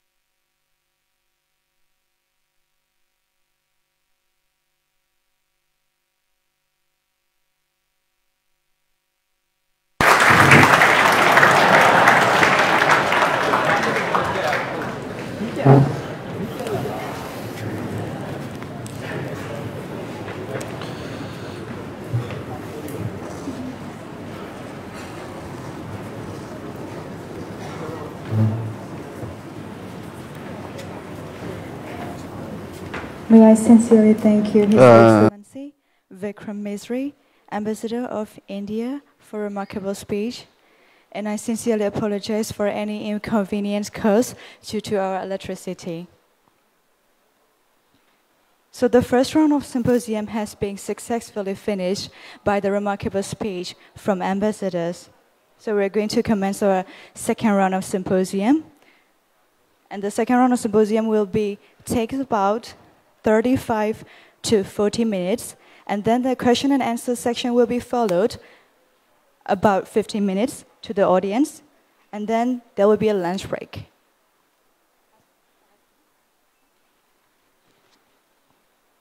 Tomorrow's symposium ပထမပိုင်းကတော့အောင်မြင်စွာနဲ့ပြီးဆုံးသွားပါပြီ။အဲ့အတွက်ကြောင့်မို့လို့ဒုတိယပိုင်း symposium ကိုစတင်နိုင်ရန်အတွက်ဒီမြန်မာ quarterly symposium မှာ moderator ဖြစ်ဆောင်ရွက်မယ်။ကျမတို့ရဲ့ ISB မြန်မာမှာ deputy director ကိုနေထွန်းနိုင်ကိုစင်မောတို့ဖိတ်ခေါ်ပြီးတော့ဒီပွဲကိုလွှဲပေးလိုက်ပါရရှင်အာစင်ပိုစီယန်ကျွန်တော်မှာဆွေးနွေးမဲ့သူတွေကိုမပိတ်ခေါ်ခင်မှာတောင်းပန်ပါတယ်အနောက်ရှက်တစ်ခုခုဖြစ်ခဲ့တာရှိရင်နောက်တစ်ခုက အာကျွန်တော်ကစင်ပိုစီယန်ရဲ့ကျွန်တော်စင်ပိုစီယန်သဘောတဘာဝကပညာရေးပိုင်းဆိုင်ရာတွေများမယ်ပေါ့နော်အဲလေးလေးတယ်ပေါ့ဆိုတော့အဲ့အတွက်ကြောင့်မလို့ဟိုပရိသတ်ကိုကျွန်တော်တို့က250လောက်ပဲမှန်းပေမဲ့လို့တကယ်တမ်းကျွန်တော်တို့စရင်ပိတ်တိုက်စရင်ပိတ်တယ်ဆိုတာကျွန်တော်အတင်းပိတ်လိုက်ရတာပါဆိုတော့တက်ချင်တဲ့လူတွေကအများကြီးပေါ့နော်အဲ့အချိန်ဒီ430တိဖြစ်သွားတယ်အဲ့တော့ကျွန်တော်လည်းအကူကြီးတောင်းပါတယ်ဒီ ကဖေးအင်တောင်းကတာဝန်ရှိတဲ့သူတွေကိုတက်နိုင်သမျှခုံတွေထည့်ပေးပါဆိုတော့ကျွန်တော်350လောက်တော့အမခံချက်ရှိသွားတယ်အခုမတ်တက်ရက်နေရတဲ့သူတွေကိုလည်းကျွန်တော်အားနာကြောင်းပြောလိုပါတယ်ဆိုတော့ကျွန်တော်တို့အခုခုနတင်ကျွန်တော်တာဝန်ရှိတဲ့သူတယောက်နဲ့ကျွန်တော်မေးကြည့်တော့ခုံတော့မရှိတော့ဘူးတဲ့သူတို့လည်းရှိသမျှခုံတွေအကုန်တင်ပေးလိုက်ပါပြီတဲ့ဆိုတော့ဆိုတော့အစင်ပြေအဲဒီတစုံတရာအစင်မပြေတာရှိခဲ့တယ်ရှိခဲ့ရင်တောင်းပန်ပါတယ်လို့ကျွန်တော်ပြောချင်ပါတယ်ခုနမီးပြတ်သွားတဲ့အခြေအနေကိုပေါ့တောင်းပန်ပါတယ်ဆိုတော့ အခုကျွန်တော် symposium စပါမယ်မစခင်မှာကျွန်တော်အဲ symposium မှာကျွန်တော်တို့ဆွေးနွေးမဲ့သူတွေကိုကျွန်တော်ဖိတ်ချင်ပါတယ်အရင်ဆုံးကတော့ကျွန်တော်တို့ဒီမြန်မာ quarterly အာဒီကျွန်တော်တို့ဒုတိယအကြိမ်ထုတ်ဒီ Federal Democracy ပြည်ထောင်စုစာအုပ်မှာရေးသားခဲ့တဲ့ panelist panelist authors ပေါ့နော်စာရေးသူတွေကိုကျွန်တော်စပြီးဖိတ်ခေါ်ခြင်းပါတယ်။ဦးဆုံးဖိတ်ခေါ်ခြင်းတာကတော့ဆရာ Cormac Coban ပါဆိုတော့ဆရာက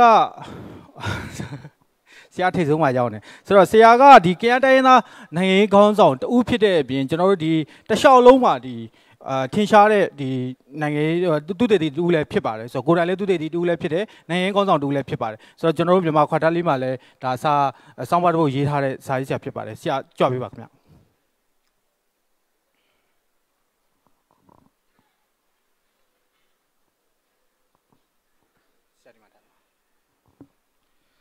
ဆိုတော့နောက်တူကိုကျွန်တော်ဖိတ်ချင်ပါတယ်သူကတော့ဦးရဲမျိုးဟင်းဖြစ်ပါတယ်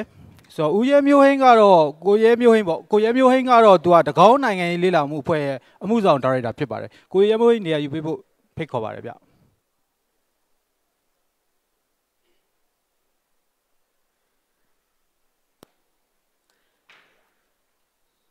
ဆိုတော့တတိယတူကတော့ကျွန်တော်တို့ ISP မြန်မာရဲ့အမှုဆောင်ဒါရိုက်တာလည်းဖြစ်တယ် အဲကျွန်တော်ဒီမြန်မာခွာတာလီနံပါတ်1မှာမျက်နှာဖုံးဆောင်းပါရေးခဲ့သူလည်းဖြစ်တယ်ကိုမင်းစင်ကိုကျွန်တော်ဖိတ်ချင်ပါတယ်ကိုမင်းစင်ကြော်ပြပါဗျ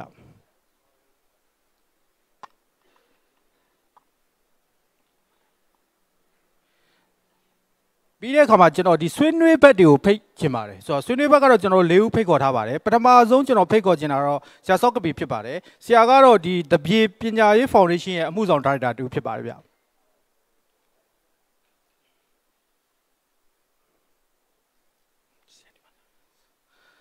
နောက်တဦးကတော့ကျွန်တော်တို့စိုင်းကြော်ညွန်းဖြစ်ပါတယ်စိုင်းကြော်ညွန်းကတော့ဒီရှမ်းတိုင်းရင်းသားများဒီမိုကရေစီအဖွဲ့ချုပ်ရဲ့တွဲဘက်အတွင်းမှုနှစ်ဖြစ်တဲ့အပြင်ကျွန်တော် UPDJC ရဲ့အတွင်းမှုဖွဲ့ဝင်တူလည်းဖြစ်ပါတယ်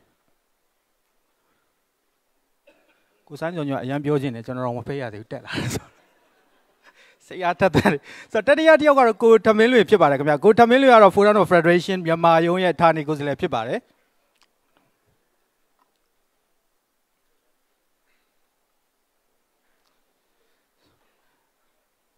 နောက်ဆုံးဖိတ်ခေါ်ချင်တာတော့ရင်းလောင်ဖြစ်ပါတယ်ရင်းလောင်ကတော့တန်လွင် Institute for Public Policy ရဲ့လက်ထောက်ဒါရိုက်တာတူဖြစ်ပါတယ်ဆိုတော့ဒီ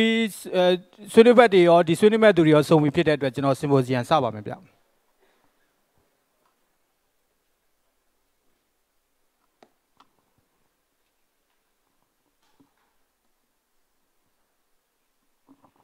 ဆိုတော့ဟိုဒီရှေ့မှာနေရာလေးတွေနဲ့လွတ်သွားတော့ထိုင်ခြင်းလဲဝင်ထိုင်လို့ရတယ်ဆိုတဲ့အကြောင်းလေးကျွန်တော်ပြောချင်ပါတယ်ဗျဟိုဘက်ချမ်းမှာ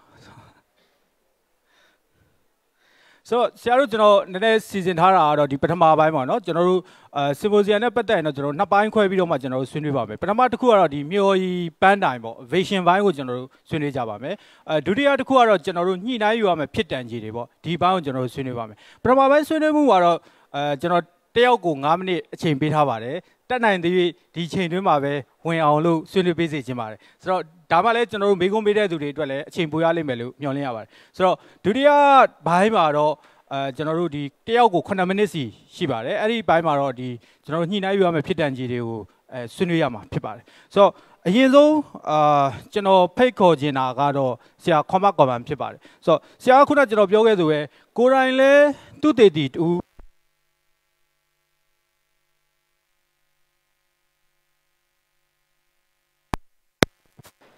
ဟယ်လိုကိုယ်တိုင်လည်းသူတည်တည်တူဖြစ်တယ်နောက်တိုင်းရင်းသားနိုင်ငံရေးခေါင်းဆောင်တူလည်းဖြစ်တယ်ဒါအပြင်ကျွန်တော်တို့1990ပြည့်နှစ်တုန်းကအဲ1990ပြည့်နှစ်ရွေးကောက်ပွဲမှာကျွန်တော်တို့ဖဲခုံမြို့နယ်ပြည်သူ့လွှတ်တော်ကိုယ်စားလှယ်လည်းဖြစ်ခဲ့တယ်တခါကျွန်တော်တို့အမျိုးသားညီလာခံတက်တော့အမျိုးသားညီလာခံကြီးကျင်းပတော့လဲဆရာပါခဲ့တယ်အဲမျိုးသားညီလာခံကိုကြောက်ခိုင်းလာခဲ့တဲ့သူတွေမှာလည်းဆရာကပထမဆုံးပဲဖြစ်ခဲ့တယ်ပေါ့နော်ဆိုတော့ဆရာကိုကျွန်တော်မေးချင်တာကကျွန်တော်တို့ကဒီ Federal လို့ပြောရင်ကျွန်တော်တို့ပင်လုံစာချုပ်ပင်လုံကတိကွေ့တွေနဲ့ကျွန်တော်တို့ကခွဲလို့မရဘူးပေါ့နော်ဆိုတော့ဆရာကလည်းဒီကျွန်တော်တို့ဒီ Federal Federal Democracy ပြည်ထောင်စုတည်ဆောက်ရေးဖြစ်စဉ်နဲ့မျှကြီးဆိုတဲ့စာအုပ်မှာပြည်ထောင်စုမြန်မာနိုင်ငံနဲ့အဲပင်လုံတစ္ဆာဆိုပြီးတော့မှစောင်းပါရေးခဲ့တယ်ပေါ့အဲ့တော့တစ်ချိန်တည်းမှာပဲကျွန်တော်တို့စီမှာအများအားပြဿနာတက်တာကပင်လုံဂတိကဝတ်နဲ့ပင်လုံစိတ်ဓာတ်ပေါ့ဆိုတော့ပင်လုံစာချုပ်ကဂတိကဝတ်လားဒါမှမဟုတ်စိတ်ဓာတ်လားဆိုတဲ့ မိခုံမျိုးတွေရှိတယ်ပေါ့အဲ့ဒါကလည်းကျွန်တော် Federal နဲ့တွန့်တွဲနေတဲ့ကိစ္စဖြစ်တယ်ပေါ့အဲ့တော့ပင်လုံစိတ်ဓာတ်နဲ့ပင်လုံဂတိကဝတ်ဘယ်လိုကွာခြားသလဲဆိုတဲ့ဆရာရဲ့အမြင်လေးကိုအရင်ဆုံးသိချင်ပါတယ်ဗျထိုင်ပြောလို့ရတယ်ဆရာပင်လုံ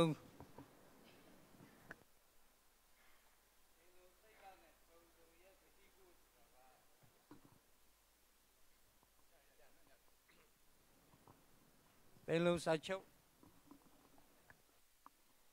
ပင်လုံစာပင်လုံစိတ်ဓာတ်နဲ့ပင်လုံရဲ့ဂတိကုဆိုတာအများစွာကွာပါတယ်စိတ်ဓာတ်ဆိုတော့စိတ်ဓာတ်သဘောထားယူမယ်ကျွန်တော်တို့ဂတိကုဆိုတော့တကယ်ပင်လုံသိစာတကယ်ဟိုဟာပေါ့အဲ့ဒီဟာနိုင်ငံရေးရဲ့အခြေခံမှုများပေါ့နောက်တော့အနာဂတ်ဖွဲ့စည်းပုံရေးဆွဲဖို့အတွက်အဲ့ဒီလူလာရေးဖတ်ခင်လူလာရေးပြည်သူ့ကကြီးဘုံချောင်းဆန်းတဲ့တိုင်းသားများချမှတ်ထားတဲ့အဲ့ဒီဟာအခြေခံမှုများ နောက်တော့အခြေခံကြောရုံးများကိုဒါအကောင့်ထည့်ဖို့ပေါ်ဖို့ဖြစ်တယ်အဲ့ဒါကပင်လုံရဲ့ဂတိတိစာဖြစ်တယ်ပင်လုံရဲ့စိတ်ဓာတ်ဆိုစိတ်ဓာတ်ရှိယုံပဲဆိုတာတခြားစီဖြစ်တယ်လို့ဒီလိုပဲမြင်ပါတယ်တူတူနဲ့လူရင်းပဲပြောသွားတဲ့အတွက်ကျေးဇူးတင်ပါတယ်ဆရာဆိုတော့ဒီနေ့မှာကျွန်တော်ဂျာဘက်ပြောလိုတာကဒီမြန်မာခွာတာလီဒုတိယစာအုပ်က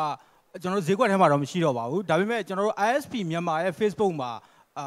ဘယ်သူမှဆိုအဲဖတ်ရှုလို့ရနိုင်အောင်ကျွန်တော်တို့တင်ပေးထားပါတယ်တခါတခါကျရင်ကျွန်တော်တို့ကဒီဆရာတွေပြောတဲ့စကားနဲ့သူတို့အဘောကိုသိကျင်နေဆိုရင်အဲ့ဒီစာအုပ်ကိုကျွန်တော်တို့အချိန်ပေးဝင်ရောက်ဖတ်ရှုလို့ရတယ်ဆိုတဲ့အကြောင်းလေးသတင်းပေးခြင်းပါတယ်ဆိုတော့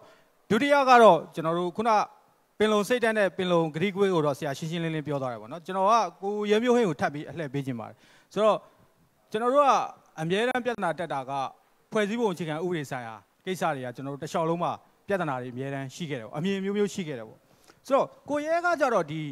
ကျွန်တော်ဒုတိယမြောက်စာအုပ်ထဲမှာဗာရေးထားတာလဲဆိုတော့2008ဖွဲ့စည်းပုံအခြေခံဥပဒေဘောင်အတွင်းကတက်မတော်ရဲ့ Federal အမြင်ဆိုပြီးရေးထားတယ်တော်တော်လဲစိတ်ဝင်စားဖို့ကောင်းပါတယ်ဆိုတော့အဖွင့်ကလေးက Union of Burma လား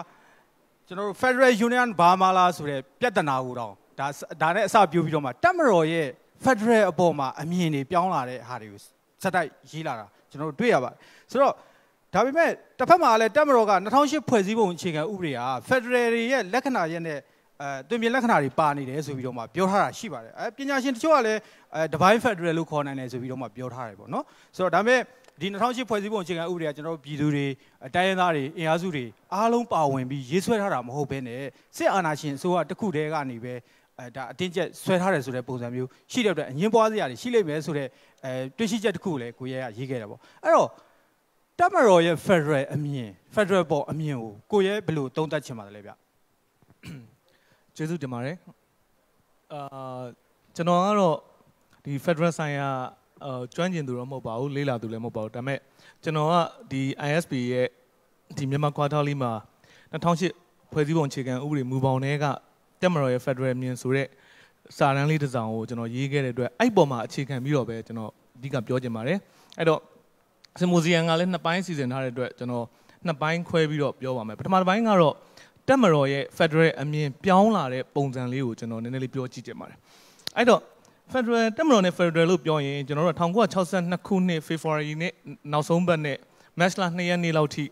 မှာကျင်းပခဲ့တဲ့တန်လွေရုံမှာကျင်းပခဲ့တဲ့ဒီ Federal ဆွေးနွေးပွဲကိုကျွန်တော်တို့အဓိကထားပြီးပြောရမှာအဲ့တော့အဲ့ Federal ဆွေးနွေးပွဲပေါ်မူတည်ပြီးတော့တက်မတော်က match လာ2ရက်နေ့မှာအာနာသိမ့်လိုက်တယ်အာနာသိမ့်ပြီးတဲ့အခါမှာကျွန်တော်တို့က1963ခုနှစ် February လလွှိုင်ကော်မှာလုပ်တဲ့16ကြိမ်မြောက်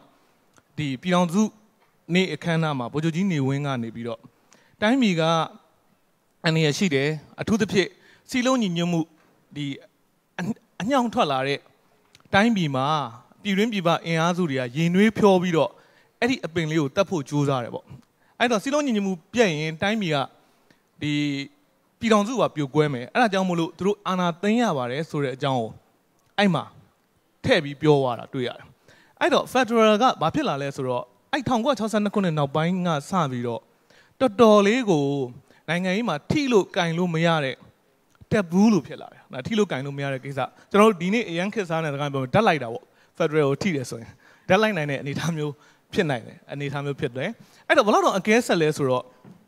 ကျွန်တော်တို့1962ခုနှစ်မတိုင်ခင်တောင်ကြီးမှာ Federal Store ဆိုတာလေးရှိတယ်။ Federal Store ဆိုတာရှိတယ်။ အဲ့မဲ့အာနာလဲတင်းလဲတင်းပြီးတော့ Federal Store ပိုင်ရှင်ကို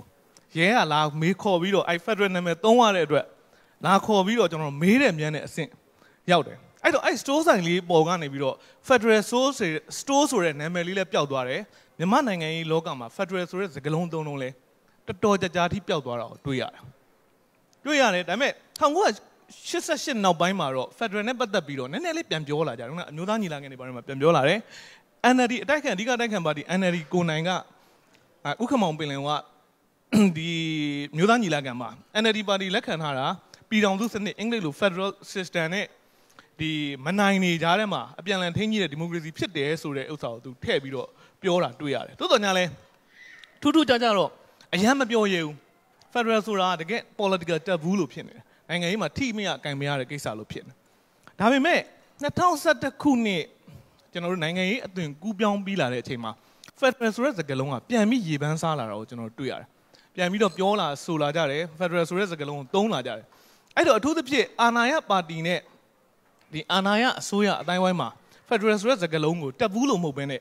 ထိမြကင်များတဲ့ကိစ္စလို့မဟုတ်ဘဲနဲ့ပြန်ပြောလာတာကိုတွေ့ရတယ်။အမှဥရွှေမန်းဆိုရင်ဒါ Federal ဆိုတာကိုဆောင်ရွက်ရမယ်ဆိုတာမျိုးပြောတယ်။ကျွန်တော်တို့ဒီဦးသိန်းစိန်ဆိုရင်လည်းအဲ့ချိန်တော့တမရဦးသိန်းစိန်ဆိုရင်လည်းဒီ Federal ဆိုတာမြန်မာနိုင်ငံက Federal ကို လက်ခံတယ်ဆိုတဲ့ပုံစံမျိုးပြောတယ်။တစ်ဖက်ကဒီငင်းငင်းရေးလုပ်ငန်းစဉ်လုပ်နေတဲ့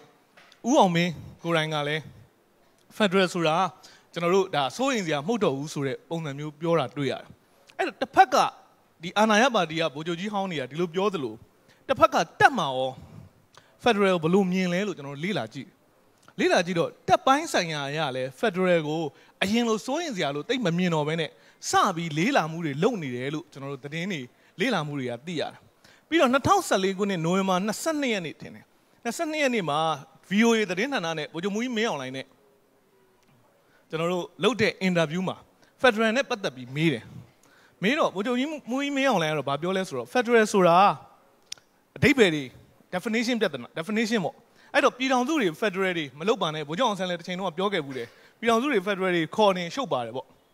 အဲ့တော့ပြည်ထောင်စုတွေ Federal တွေခေါ်နေမဲ့အစားအဲ့လိုအဓိပ္ပာယ်တွေဆွဲထုတ်နေမဲ့အစားတိုင်းရင်းသားတွေစီစီလုံးလုံးညီညီညွတ်ရှိအောင်လုပ်သွားရမယ်လို့ပြောလာတယ် Federal ဆိုတဲ့စကားလုံးကတော့ပြောလာတယ်ဒါပေမဲ့ definition ကိုတော့လက်ခံနိုင်တဲ့အနေအထားမျိုးတော့တိတ်မရှိသေးဘူးဒါပေမဲ့ဘုံညမွေးမင်းအောင်လည်းညှိုးနဲ့ဗိုလ်ချုပ်အောင်ဆန်းစကားကိုကျွန်တော်ပြန်ကြည့်လိုက်တော့1948 6ခုနှစ် sorry 1948ခုနှစ်ဒီဇွန်လမှာလုပ်တဲ့တိုင်းပြည်ပြူအစည်းအဝေးမှာဖာပွန်မဲဆန္ဒနဲ့အမတ်စောဝီကျော်ကနေပြီးတော့ဗကြောင်ဆောင်မေးတယ် Federal ဆိုတာ ဗမာစကားနဲ့ဆိုရင်ပြည်တော်စုဖြစ်နေတယ်အင်္ဂလိပ်လိုဆိုလဲ Union of Burma ဖြစ်နေတယ်အဲ့တော့ Federal Union of Burma ဆိုရင်ပို့ပြီးမတိကြဘူးလားဆိုပြီးတော့အဲ့လိုမျိုးပြောင်းဖို့ပြောတယ်ပြောတော့ဗကြောင်ဆန်ဘာပြန်ပြောလဲဆိုတော့မဟုတ်ဘူး Union of မြန်မာစကားနဲ့ပဲကျွန်တော်တို့အဓိကထားပြီးတော့ဒီဟာကိုသုံးမယ်အဲ့ဒီခါကျတော့ union တော့ဘာမှပဲပြည်တော်စုဆိုတဲ့ဟာပဲမြန်မာစကားကပဲအခြေခံဖြစ်တယ်အဲ့တော့ federal union တွေမလုပ်ပါနဲ့ပြည်တော်စုဆိုတာပဲအခြေခံဖြစ်တယ်ဆိုပြီးတော့ပြန်ပြောတာတွေ့ရတယ် တွေ့ရတဲ့ခါကျတော့အဲ့ဒါကိုပြန်ကြည့်ရင်ဗိုလ်ချုပ်အောင်ဆန်းပြောတဲ့စကားမှာပြည်တော်စုဆိုတဲ့စကားမှာ federal ကော union ကောပုံစံ federal union ဆိုတဲ့ပုံစံပါနေတယ်လို့တွေ့ရတယ်တိုးတော်ညာလေတစ်ဖက်ဒီဘက်ခင်မှာကျတော့ပြန်လက်ခံတဲ့ကိစ္စကျတော့ federal ဆိုတဲ့ဟာမျိုးတက်ဆိုင်တိုင်းရင်းသားစီးလုံးညီညွတ်မှုဆိုတဲ့ဟာကိုအခြေခံပြီးတော့ပြန်လက်ခံတဲ့ပုံစံမျိုးကျွန်တော်တို့တွေ့ရတယ်ပေါ့အဲ့ဒီခါမှာနောက်ပိုင်းလဲကျွန်တော်တို့တိုင်းသားစီလုံးညီညွတ်မှုဆိုတာဒါတက်မတော်ဆိုရလက်ထက်ကဆိုရင်တလျှောက်လုံး ဒါတိုင်းသားစည်းလုံးညီမှုမပြိုကွဲဆိုတာဒုတောင်ရေးသမားတွေမှာထည့်ပြီးတော့ဥထိတ်ထားပြီးတော့ဆောင်ရွက်တယ်ဆိုတဲ့ကိစ္စမျိုးတွေ့ရတယ်အဲ့တော့ Federal လို့ပြောရင်ပထမဆုံးစလက်ခံတာလက်တော့စကလုံးတော့စပြီးနည်းနည်းလေးပြောလာတယ်တိုးတော်ညာလေတစ်ဖက်ကတိုင်းသားစည်းလုံးညီညွတ်မှုဆိုတဲ့ကိစ္စနဲ့တွဲပြီးပြောတယ်တွဲပြောနေတယ်ဒါပေမဲ့တစ်ဖက်ကတိုင်းသားတွေဘက်ကအမြင်ကကြတော့ဘယ်လိုရှိလဲဆိုတော့တိုင်းရင်းသားတွေဒန်းတူညီမျှမှုမရှိဘဲနဲ့စီးလုံးညီညွတ်မှုဘယ်လိုရနိုင်မလဲဆိုတဲ့အမြင်ကျွန်တော်တို့ဒီဘက်ကလည်းမြင်တာရှိတယ်အဲ့လိုကွဲပြားမှုတွေတော့ရှိတာတွေ့ရတယ်ပေါ့ ဒါပေမဲ့လည်းငြိမ်းချမ်းရေးဖြစ်စဉ်အချိန်မြင့်လာတာနဲ့မြကျွန်တော်တို့ Federal ဆိုတဲ့နားလည်မှုလေးနည်းနည်းလေးပြောင်းလာတာတွေ့ရတယ်ဗမာအဓိအဓိကတွေ့ရလဲ2015ခုနှစ် February လမှာ11 media နဲ့လုပ်တဲ့ interview မှာဗိုလ်ချုပ်မူကြီးမြောင်လည်းဘာပြောလဲဆိုတော့ခုကျွန်တော်တို့သွားနေတာလဲ Federal ကိုအခြေခံတဲ့ democracy အဆင့်ကျင့်သုံးတဲ့ကျွန်တော်ပြည်ထောင်စုဖြစ်ပါတယ်ဆိုပြီးတော့ပြောလာတာတွေ့ရတယ်ပထမတော့ Federal တို့ဘာလို့ definition တွေပါတိတ်မပြောနဲ့လို့ပြောတယ်ခုကျတော့ Federal ကိုအခြေခံတဲ့စနစ်ဖြစ်လာတယ်ဆိုတော့ပြောလာတွေ့ရတယ် အဲ့လိုပဲ2015ခုနှစ်ကျွန်တော်တို့အောက်တိုဘာ15မှာကျွန်တော်တို့ NCA စာချုပ်လက်မှတ်ထိုးတော့ NCA စာချုပ်ရဲ့အခြေခံမူကကျွန်တော်တို့ Federal ဆိုတာပါတော့မိုနိုစီနဲ့ Federal အခြေခံတဲ့ပြည်ထောင်စုကိုကျွန်တော်တို့ဒီနိုင်ငံရေးဆွေးနွေးပွဲတန်းတစ်ဆင့်သွားမယ်ဆိုတော့တက်မတော်ကိုယ်တိုင်ကလက်မှတ်အဲ့မှာထိုးထားတာတွေ့ရတယ်အဲ့ကမှတစ်ဆင့်အတွေးခေါ်နည်းနည်းလေးထပ်ပြီးပြောင်းလာတဲ့အခါမှာ2016ခုနှစ် match လာမှာလို့တဲ့တင်းလာချင်းလင်းမှာဘုံမွေးမြောင်လည်းဗာပြောလဲဆိုတော့ခုသွားနေတာလဲ Federal ပေါ့ Federal လို့ပြောကြမှာဆိုရင်ကျွန်တော်တို့ပြောထားပြီးသားပဲ Federal မှာအရေးကြီးဆုံးဒီဘာလဲဆိုတော့တိုင်းသားတွေတန်းတူညီမျှမှုရှိဖို့ပဲဒါကိုလည်းအခြေခံဥပဒေမှာရေးထားပြီးသားပြဋ္ဌာန်းထားပြီးသားဆိုပြီးပြောလာတယ်ပြောလာတော့တိုင်းအရင်တော့တိုင်းသားစီလုံးညီမှုပြောတယ်ခုကျတော့ Federal ကိုလက်ခံတဲ့ပြင်တိုင်းရင်းသားတွေရဲ့တန်းတူညီမျှမှုဆိုတဲ့ဟာကိုပါလက်ခံတဲ့ပုံစံမျိုးပြောတယ်တိုးတော်ညာလဲသူ့မှာအကန့်အသတ်ရှိတယ်အဲ့ဒါဘာလဲဆိုတော့2008ဖွဲ့စည်းပုံအခြေခံဥပဒေထဲမှာပြဋ္ဌာန်းထားပြီးသားဆိုတဲ့ဟာကိုပြတာဆိုလိုချင်တဲ့သဘောက2008ဖွဲ့စည်းပုံအခြေခံဥပဒေ ဘောင်ထဲမှာ Federal ကိုအထိုင်ချဖို့ကြိုးစားတယ်လို့ကျွန်တော်တို့မြင်တယ်အဲ့တော့အသွင်ကူးပြောင်းတဲ့နိုင်ငံတွေမှာကျွန်တော်တို့ဒါမျိုးတွေ့ရတယ်တက်တွေက reposition လုပ်တာပေါ့သူ့ကိုယ်သူ reposition ပြန်လုပ်တယ်သူ့ကိုယ်သူနေရာအထိုင်ပြန်ချတယ်ပြန်ချတဲ့အခါမှာအင်ဒိုနီးရှားဆိုရင်ကျွန်တော်တို့ထင်ရှားတဲ့ဥပမာရှိတယ်1998ဒါကျွန်တော်တို့အသွင်ကူးပြောင်းမှုနောက်ပိုင်းမှာတက်က new paradigm ဆိုပြီးသူတို့ရဲ့အသွင်ကူးပြောင်းမှုမူဝါဒကိုထုတ်ပြန်တာတွေ့ရတယ်အဲ့အသွင်ကူးပြောင်းမှုမူဝါဒမှာအဓိက၃ချက်ပါတယ် တစ်ခုကဘာလဲဆိုတော့ redefine သူ့ကိုယ်သူပြန်ပြီး redefine လုပ်တာပြန်ပြီးအထိပ္ပယ်ဖွင့်ဆိုတာဒုတိယတစ်ချက်က reposition လုပ်တာသူ့ကိုယ်သူနေရာပြန်ချတာဘယ်လိုနေရာပြန်ချမလဲဆိုတာ reposition လုပ်တာတတိယတစ်ချက်ကတော့ reactualization ပေါ့ဘယ်လိုဆောင်ရွက်သွားမလဲဆိုတာကိုသူပြတယ်အခုကျွန်တော်တို့အသွင်ကူးပြောင်းမှုကိုပြန်ကြည့်တဲ့အခါမှာလဲဒီ federal ဆိုင်ရာနားလည်မှုကပြောင်းလာတယ်လို့အဲ့ဒါကိုဒီအသွင်ကူးပြောင်းမှုတွေမှာပြန်ပြီး reposition ချဖို့နေရာအထိုင်ပြန်ချဖို့ကြိုးစားတယ် ဘယ်ထဲမှာအထိုင်ချဖို့ကြိုးစားလဲဆိုတော့2008ဖွဲ့စည်းပုံအခြေခံဥပဒေဆိုတဲ့ထဲမှာကျွန်တော်တို့အထိုင်ချဖို့ကြိုးစားတယ်အဲ့ဒါကဘာမှပိုခိုင်မာသွားလဲဆိုတော့2016ခုနှစ်စက်တင်ဘာလမှာလုပ်တဲ့ August နဲ့စက်တင်ဘာလမှာလုပ်တဲ့ကျွန်တော်တို့21ရာစုပင်လုံပထမအကြိမ်မှာတက်မတော်ကနေပြီးတော့စာရန်နေတင်တယ်စုစုပေါင်း9ဆောင်တင်တယ်3ဆောင်မှာ2008ဖွဲ့စည်းပုံအခြေခံဥပဒေမူပေါင်းတွေက Federal လက္ခဏာများဆိုပြီးတော့စာရန်တင်တာတွေ့ရတယ် အဲ့တော့အဲ့မတိုင်ခင်မှာ August လ10ရက်နေ့ကနေ14ရက်နေ့ထိမှာမြဝတီသတင်းစာမှာအဲ့ဒီဟာကိုစောင်းမအနေနဲ့၄ရက်စတိုက်ကျွန်တော်တို့ပါလာတာတွေ့ရတယ်ပြီးတော့ပင်လုံညီလာခံမှာလည်းအဲ့ဒါကိုကျွန်တော်တို့လိုက်ပြီးတော့ဝေတယ်အဲ့စာရွက်ကိုပေါ့အဲ့တော့ဒီဟာကဒီမှာအထိုင်ချတဲ့အထိုင်ချမှုကပိုပြီးခိုင်မာလာတဲ့အနေအထားမျိုးကိုကျွန်တော်တို့တွေ့ရတယ်အဲ့တော့အသွင်ကူးပြောင်းတဲ့နိုင်ငံတွေမှာခုနကကျွန်တော်ပြောခဲ့ပါတယ်တက်တွေရဲ့အထိုင်ချမှုကိုကြည့်တဲ့အခါမှာကျွန်တော်တို့တော့ပုံစံနှစ်မျိုးနဲ့ကြည့်တယ်ပုံစံတစ်မျိုးဒီ rules of the game လို့ခေါ်တဲ့ဒီအသွင်ကူးပြောင်းမှုရဲ့ကစားပွဲဥပဒေသားတွေကိုအခြေခံပြီးသူ့ကိုယ်သူအထိုင်ချဖို့ကြိုးစားတယ်နောက်ဒုတိယတစ်မျိုးကတော့ကျွန်တော်တို့နိုင်ငံရေးတွန်းအားလူမှုရေးတွန်းအားနဲ့ functional imperative လို့ခေါ်တဲ့တက်ကသူ့ရဲ့အလုပ်ငန်းပေါ်မှာမူတည်ပြီးတော့ဖြစ်ပေါ်လာတဲ့တွန်းအား၃ခုပေါ်မှာအနေအခြေတည်ပြီးတော့သူ့ကိုယ်သူအထိုင်ပြန်ချဖို့ကြိုးစားကြတာကိုတွေ့ရတယ်။ဒါကျွန်တော်နိုင်ငံမှာလည်းမဟုတ်ပါဘူးတခြားနိုင်ငံတွေမှာလည်းအဲ့လိုမျိုးအထိုင်ပြန်ချတာကိုတွေ့ရတယ်။အဲ့တော့ပထမပိုင်းမှာတော့ကျွန်တော်ဒီလိုပြောင်းလဲလာတဲ့အယူအဆအမြင်ကိုနည်းနည်းပြောချင်ပါတယ်။ ဒုတိယပိုင်းမှာတော့သူတို့ပြောတဲ့2008ဖွဲ့စည်းပုံအခြေခံဥပဒေထဲမှာ Federal ဝိသေသလက္ခဏာတွေဘယ်လိုပါလဲဆိုတာနဲ့အဲ့ပုံမှာကျွန်တော်အမြင်ကိုကျွန်တော်ထပ်ပြီးပြောရမယ်ကျေးဇူးတင်ပါတယ်ကျေးဇူးတင်ပါတယ်ဆိုကိုရဲကအချိန်လေးနည်းနည်းကြော်သွားတယ်ဆရာကပို့ပေးထားတဲ့သဘောမျိုးဖြစ်သွားတယ်ပေါ့နော်ဆိုတော့ကိုမင်းအာကျွန်တော်တို့ကဒီ Federal အကြောင်းပြောရင်ကျွန်တော်တို့ကဒီတမ်မရော်ရဲ့အနေအထားလဲကျွန်တော်တို့ကထည့်ပြောရမယ်အဲ2008ဖွဲ့စည်းပုံအခြေခံဥပဒေရဲ့ အနေထားကိုလည်းကျွန်တော်တို့ကထည့်ပြောမယ်ဒါကိုမပြောရင်မပြည့်စုံဘူးပေါ့နော်အခုပြည်တော်စုငင်းချမ်းကြီးလာကလည်းပြောမှာဆိုတော့ခုနဆရာခေါမတ်ကိုဗန်ကတော့ကျွန်တော်တို့လူရင်းတူရှင်းနဲ့တူတူတုတ်တုတ်ပဲပြောသွားတယ်ဆိုတော့ကိုမင်းစင်ကိုကျွန်တော်မေးချင်တာကအထူးသဖြင့်ကိုမင်းစင်ရဲ့ဆောင်းပါပေါ့ကိုမင်းစင်ရဲ့ဆောင်းပါမှာဒီကျွန်တော်တို့ Federal ပြည်တော်စုနဲ့ပတ်သက်ပြီးတော့မှ Ion site တင်တဲ့အကြောင်းအချက်၄ခုရေးခဲ့တာကျွန်တော်သတိထားမိတယ်ဆိုတော့တိအချက်ကတော့ကျွန်တော်တို့မျှော်မှန်းချက်အမြင်ပေါ့နော်ဒီမျှော်မှန်းချက်အမြင်ပိုင်းနောက်တစ်ခုကလူမှုအဆောက်အဦပြောင်းလဲအပြောင်းလဲပေါ့ structure ပိုင်းပေါ့နော်နောက်တတိယတစ်ခုကတော့ institution ပိုင်းပေါ့ နောက်၄ခုကတော့ဒီခေါင်းဆောင်ပိုင်းတွေပေါ့အဲ့တော့ဒီဘိုင်းမှာကျွန်တော်ဆွေးနွေးစီစဉ်တာကမျော်တဲ့ပန်းတိုင်းပေါ့ကျွန်တော်မျော်ရမယ်ပန်းတိုင်း vision ဘိုင်းပေါ့ vision ဘိုင်းကိုကျွန်တော်ဆွေးနွေးစီခြင်းတယ်အဲ့တော့အဲ့ဒီမတိုင်ခင်မှာခုနဆရာကတော့တူတူတူပြောသွားတဲ့အတွက်ကြောင့်မလို့ကျွန်တော်ဖြစ်ပြောစီခြင်းတာပေါ့နော်ဟိုတုန်းကတော့အဲကျွန်တော်တို့ကဒီအတူတကွလက်တွဲတိဆောက်ကြစို့ပြည်တော်စုကြီးတစ်ခုလုံးပေါ့နော်ဆိုတော့အာ coming together ပေါ့နော်အဲ့ဒီကနေတဆင့်ကျွန်တော်တို့မလွဲတာမရှောင်တာပဲ အဲ1962အာနာသိမ်းမှုတွေကျွန်တော်ရင်ဆိုင်ခဲ့ရတယ်ဒီဘက်တစ်လျှောက်လုံးအနေထားကိုကျွန်တော်တို့ကပြန်ကြည့်လိုက်တော့ဘယ်လိုဖြစ်သွားလဲဆိုတော့အာနာဇက်နဲ့ကျွန်တော်တို့တွဲစေထားတဲ့ကျွန်တော်တို့ putting together ပုံစံမျိုးအောက်ထဲကိုရောက်သွားတယ်လာတာကတော့ coming together ပဲရင်ဆိုင်လိုက်ရတာတော့ဖြတ်တန်းနေရတာတော့ putting together ဘောင်ထဲမှာပဲဖြတ်တန်းနေအဲ့တော့လက်ရှိအနေထားရဆိုရင်ရောဘယ်လိုမျှော်မှန်းချက်မျှော်ရည်ပန်းတိုင်မျိုး vision ဘိုင်းမှာဘယ်လိုအနေထားမျိုးဖြစ်တင်ပြီလဲဖြစ်နေပြီလဲဒါလေးကို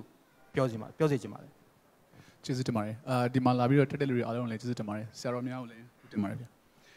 အမ်ကျွန်တော်တို့ဒီမြန်မာနိုင်ငံရဲ့အဓိကပြဿနာကိုကျွန်တော်အများဆွေးနွေးတိုင်းမှာကျွန်တော်တို့ခဏခဏပြောလို့ရှိတာကဘာလဲဆိုတော့ဒီနိုင်ငံဟာအရင်ခံပြဿနာကပြည်တော်စုကိုဒင်းပြေကြက်ပြေပုံစံကြောက်အောင်မတီးဆောက်နိုင်ခဲ့တဲ့ပြဿနာပေါ့နော်အင်္ဂလိပ်လိုကျွန်တော်တို့ပြောတာ incomplete nation building ပေါ့အဲ့ဒါဟာဟိုပြည်တော်စုအစ်စ်မှာလည်းမဟုတ်ဘူးပြည်နယ်တိုင်းမှာလည်းဥမာကချင်ဆိုတော့ ကချင်ဆိုတာ collective name ပဲစုပေါင်းဆက်ပေါင်းနာမည်ဟလာဂျင်းဖော်တို့ရဝမ်တို့လီဆူတို့အများကြီးပေါင်းဆက်ထားတာဆိုတော့ကချင်မှာကချင်မှာဂျင်းဖော်တခုလည်းမဟုတ်ဘူးအဲ့တော့ကချင်ပြည်နယ် vision ဆိုတာရှိဖို့လိုလားကချင်ပြည်နယ်ကိုဘယ်လိုမြင်ကြတယ်လဲဆိုတာစဉ်းစားဖို့လိုလားရှမ်းလည်းအလားတူပဲနော်ဝါပိုးပလောင်ဟုတ်လားဒနူအများကြီးရှိကြတယ်မွန်ဆိုရင်လည်းအခု demographically ကျွန်တော်တို့ပြောတာပေါ့လူဦးရေစုဖွဲ့မှုရအများကြီးအပြောင်းလဲတွေရှိတယ်အဲ့တော့ကျွန်တော်တို့နိုင်ငံကိုစဉ်းစားတဲ့အခါမှာကျွန်တော်တို့က ဒီပြည်ထောင်စုကိုဘယ်လိုတည်ဆောက်မလဲဆိုတဲ့နေရာမှာဘဟုအဆင့်ပြည်ထောင်စုအဆင့်နဲ့မဟုတ်ဘူးပြည်နယ်တိုင်းကို၌ကသူ့ပြည်နယ်တွေမှာရှိတဲ့အမျိုးသားငယ်တွေလူမျိုးစုငယ်တွေကိုသူတို့ကိုယ်တိုင်ပါဝင်ပတ်သက်ခွင့်ရအောင်ဘယ်လိုလုပ်မလဲဆိုတော့ဒီပြည်နယ်အလိုက်လဲ nation building လုပ်ဖို့လိုတယ်ပြည်ထောင်စုအဆင့်လိုက်လဲပေါင်းစပ်ဖို့လိုတယ်လို့ကျွန်တော်ထင်ပါတယ်အဲ့ဒီပြဿနာကိုမလုံနိုင်ခဲ့တဲ့ကိစ္စဟာကျွန်တော်တို့နိုင်ငံရဲ့အဓိကပြဿနာဖြစ်ပါတယ်အဲ့တော့ကျွန်တော်တို့က အများအားပြောနေတာကခေတ်သစ်မြန်မာနိုင်ငံတော်ဟာလွတ်လပ်ရေးနဲ့အတူမှပေါက်ဖွာလာတယ်လို့ကျွန်တော်တို့ပြောတယ်ဒါနဲ့ပတ်သက်လို့အထူးအဆန်းမဟုတ်ပါဘူးဆရာဇော်ကြီးကျွန်တော်တို့ဒီကျွန်တော် power point slide လေးတစ်ခုကျွန်တော်လုပ်ပြကြတယ်ဆရာဇော်ကြီးအင်မတန်မှထင်ရှားတဲ့ဆရာကြီးဆရာဇော်ကြီးကသူ့ရဲ့ပြည်တော်စုနဲ့ကျွန်တော်ဆိုတဲ့ဆောင်းပါးမှာသူဘာရေးလဲဆိုတော့ကျွန်တော်တို့နိုင်ငံဒီတဲ့လွတ်လပ်ရေးကိုရသည်နဲ့တပြိုင်နက်ပြည်တော်စုမြန်မာနိုင်ငံဖြစ်လာသည်တဲ့ပြည်တော်စုဟုခေါ်တဲ့ဖြင့်ကျွန်တော်တို့နိုင်ငံဒီဗကံခေတ်ကတိုင်းပြည်မဟုတ်တော့ဘူးတဲ့ နော်တောင်ငူခေတ်ကတိုင်းပြည်လည်းမဟုတ်တော့ဘူးတဲ့ကုန်းပေါင်ခေတ်အင်္ဂလိပ်ခေတ်ကတိုင်းပြည်လည်းမဟုတ်တော့ဘူးတဲ့ဆရာတော်ကြီးကဘာပြောလဲဆိုတော့ရုပ်ကောနံကောအကုန်ပြောင်းပြီတဲ့အတော်လှတဲ့စကားလေးရုပ်ကောနံကောအကုန်ပြောင်းပြီဆိုတာဟာပထဝီဝင်သဘောရလဲကျွန်တော်တို့နိုင်ငံရဲ့မြေပုံဟာဟိုတုန်းကဟိုဘယင်းနေ empire ချဲ့ထွင်တုန်းကရတယ်ဆိုတာကဟိုပနာဆက်နိုင်ငံပဲဖြစ်တာ administrative state လို့ခေါ်တဲ့အုပ်ချုပ်ရေးပါချနိုင်တဲ့နိုင်ငံမဟုတ်ဘူးအဲ့တော့ပြောချင်တာကဆရာစောကြီးပြောတာရုပ်ကောပြောင်းသွားပြီ နန်ဆိုတော့လေခုနကပြည်တော်စုစိတ်သက်ပင်လုံစာချုပ်နဲ့အတူဖြစ်လာတဲ့ပြည်တော်စုစိတ်သက်ရုပ်ကောနံကောမှာပြောင်းနေဆိုတဲ့စကားလေးဆရာတော်ကြီးအဲ့ဒါရေးတော့တော်တော်စောသေးတယ်အင်မတန်မှကျွန်တော်တို့ပြန်ဖတ်ကြည့်တဲ့အခါမှာအော်အမျှော်အမြင်ရှိပါလားလို့ကျွန်တော်တို့တွေးရတယ်ဒါပေမဲ့ခုနကကိုရဲလဲပြောသွားတယ်ကျွန်တော်တို့ဗမာရီအများကြီးသိပါတယ်ရုပ်နဲ့နံဆိုရင်ရုပ်ကိုနံကိုစောင့်ရှောက်တဲ့အသက်ဓာတ်ဆိုတာရှိတယ်ဇီဝိတိန်တရီလို့ခေါ်တာပေါ့ကံအကြောင်းမသိတဲ့အခါကျတော့1962မှာတမတော်ကအာနာသိမ်းလိုက်တဲ့အခါမှာ အဲ့ရုပ်ဓာတ်နံဓာတ်ကိုစောင့်ရှောက်တဲ့ဇီဝိတိန်တရီဟာအတော်ဦးအားနေသွားတယ်ဘလောက်တောင်အားနေသွားဆိုရုပ်ပိုင်းဆိုင်ရာကဘာပေါ်မှာအစင်းရဲဆုံးနိုင်ငံဖြစ်သွားတယ်စင်ကြီးတွေမျိုးစုံပေးကြလိမ့်မယ်နံပိုင်းဆိုင်ရာရလဲဒီပြည်တော်စုကြီးမှာဆက်နေခြင်းစိတ်မရှိတော့လောက်အောင်တိုင်းရင်းသားတွေကခါးပြီးသွားကြတယ်အဲ့တော့ဒီဇီဝိတိန်တွေကိုဟလာဒီရုပ်ဓာတ်နံဓာတ်ကိုစောင့်ရှောက်တဲ့ဒီပြည်တော်စုကိုစောင့်ရှောက်တဲ့အသက်ဓာတ်ဟာပျက်စီးခဲ့ရတယ်ဒါကျွန်တော်ဘယ်သူမှအပြစ်ပြောရနေနဲ့ပြောတာမဟုတ်ဘူးဒါအရှိတရားပဲ အဲ့တော့ကျွန်တော်ပြောချင်တာကဘာလဲဆိုတော့ကျွန်တော်တို့ကခုနကိုနေထွန်းနိုင်ပြောသလိုပဲလာတော့ကတော့ coming together ပေါ့အားလုံးလက်တွဲပြီးတော့ပြည်တော်စုကြီးတိဆောက်ကြရအောင်ဆိုပြီးတော့ဆရာစောကြီးပြောသလိုရုပ်ပါနာမှာပြောင်းအောင်လုပ်ခဲ့ကြတာကံအကြောင်းမသိတဲ့အခါမှာခုနကပြောသလိုတဒီရုပ်တက်နန္ဒတ်ကိုစောင့်ရှောက်တဲ့ဟာတွေကဟိုတော်တော်ကိုအားနေတော့တဲ့အတွက်ကြောင့်မို့ကျွန်တော်တို့ putting together လို့ပြောတဲ့အတင်းဆွဲစီပြီးတော့အုပ်ချုပ်တာခံခဲ့ရတယ် ဘဟုကနေအတင်းဆွဲစီပြီးအုပ်ချုပ်တာခံခဲ့ရတယ်ဆိုတော့ပိုဆိုးတာကဘာလဲဆိုတော့ကျွန်တော်တို့နိုင်ငံမှာတခါလာလဲအဲ့လိုဆွဲစီတဲ့အခါမှာတိုင်းပြည်ရဲ့တမိုင်းကို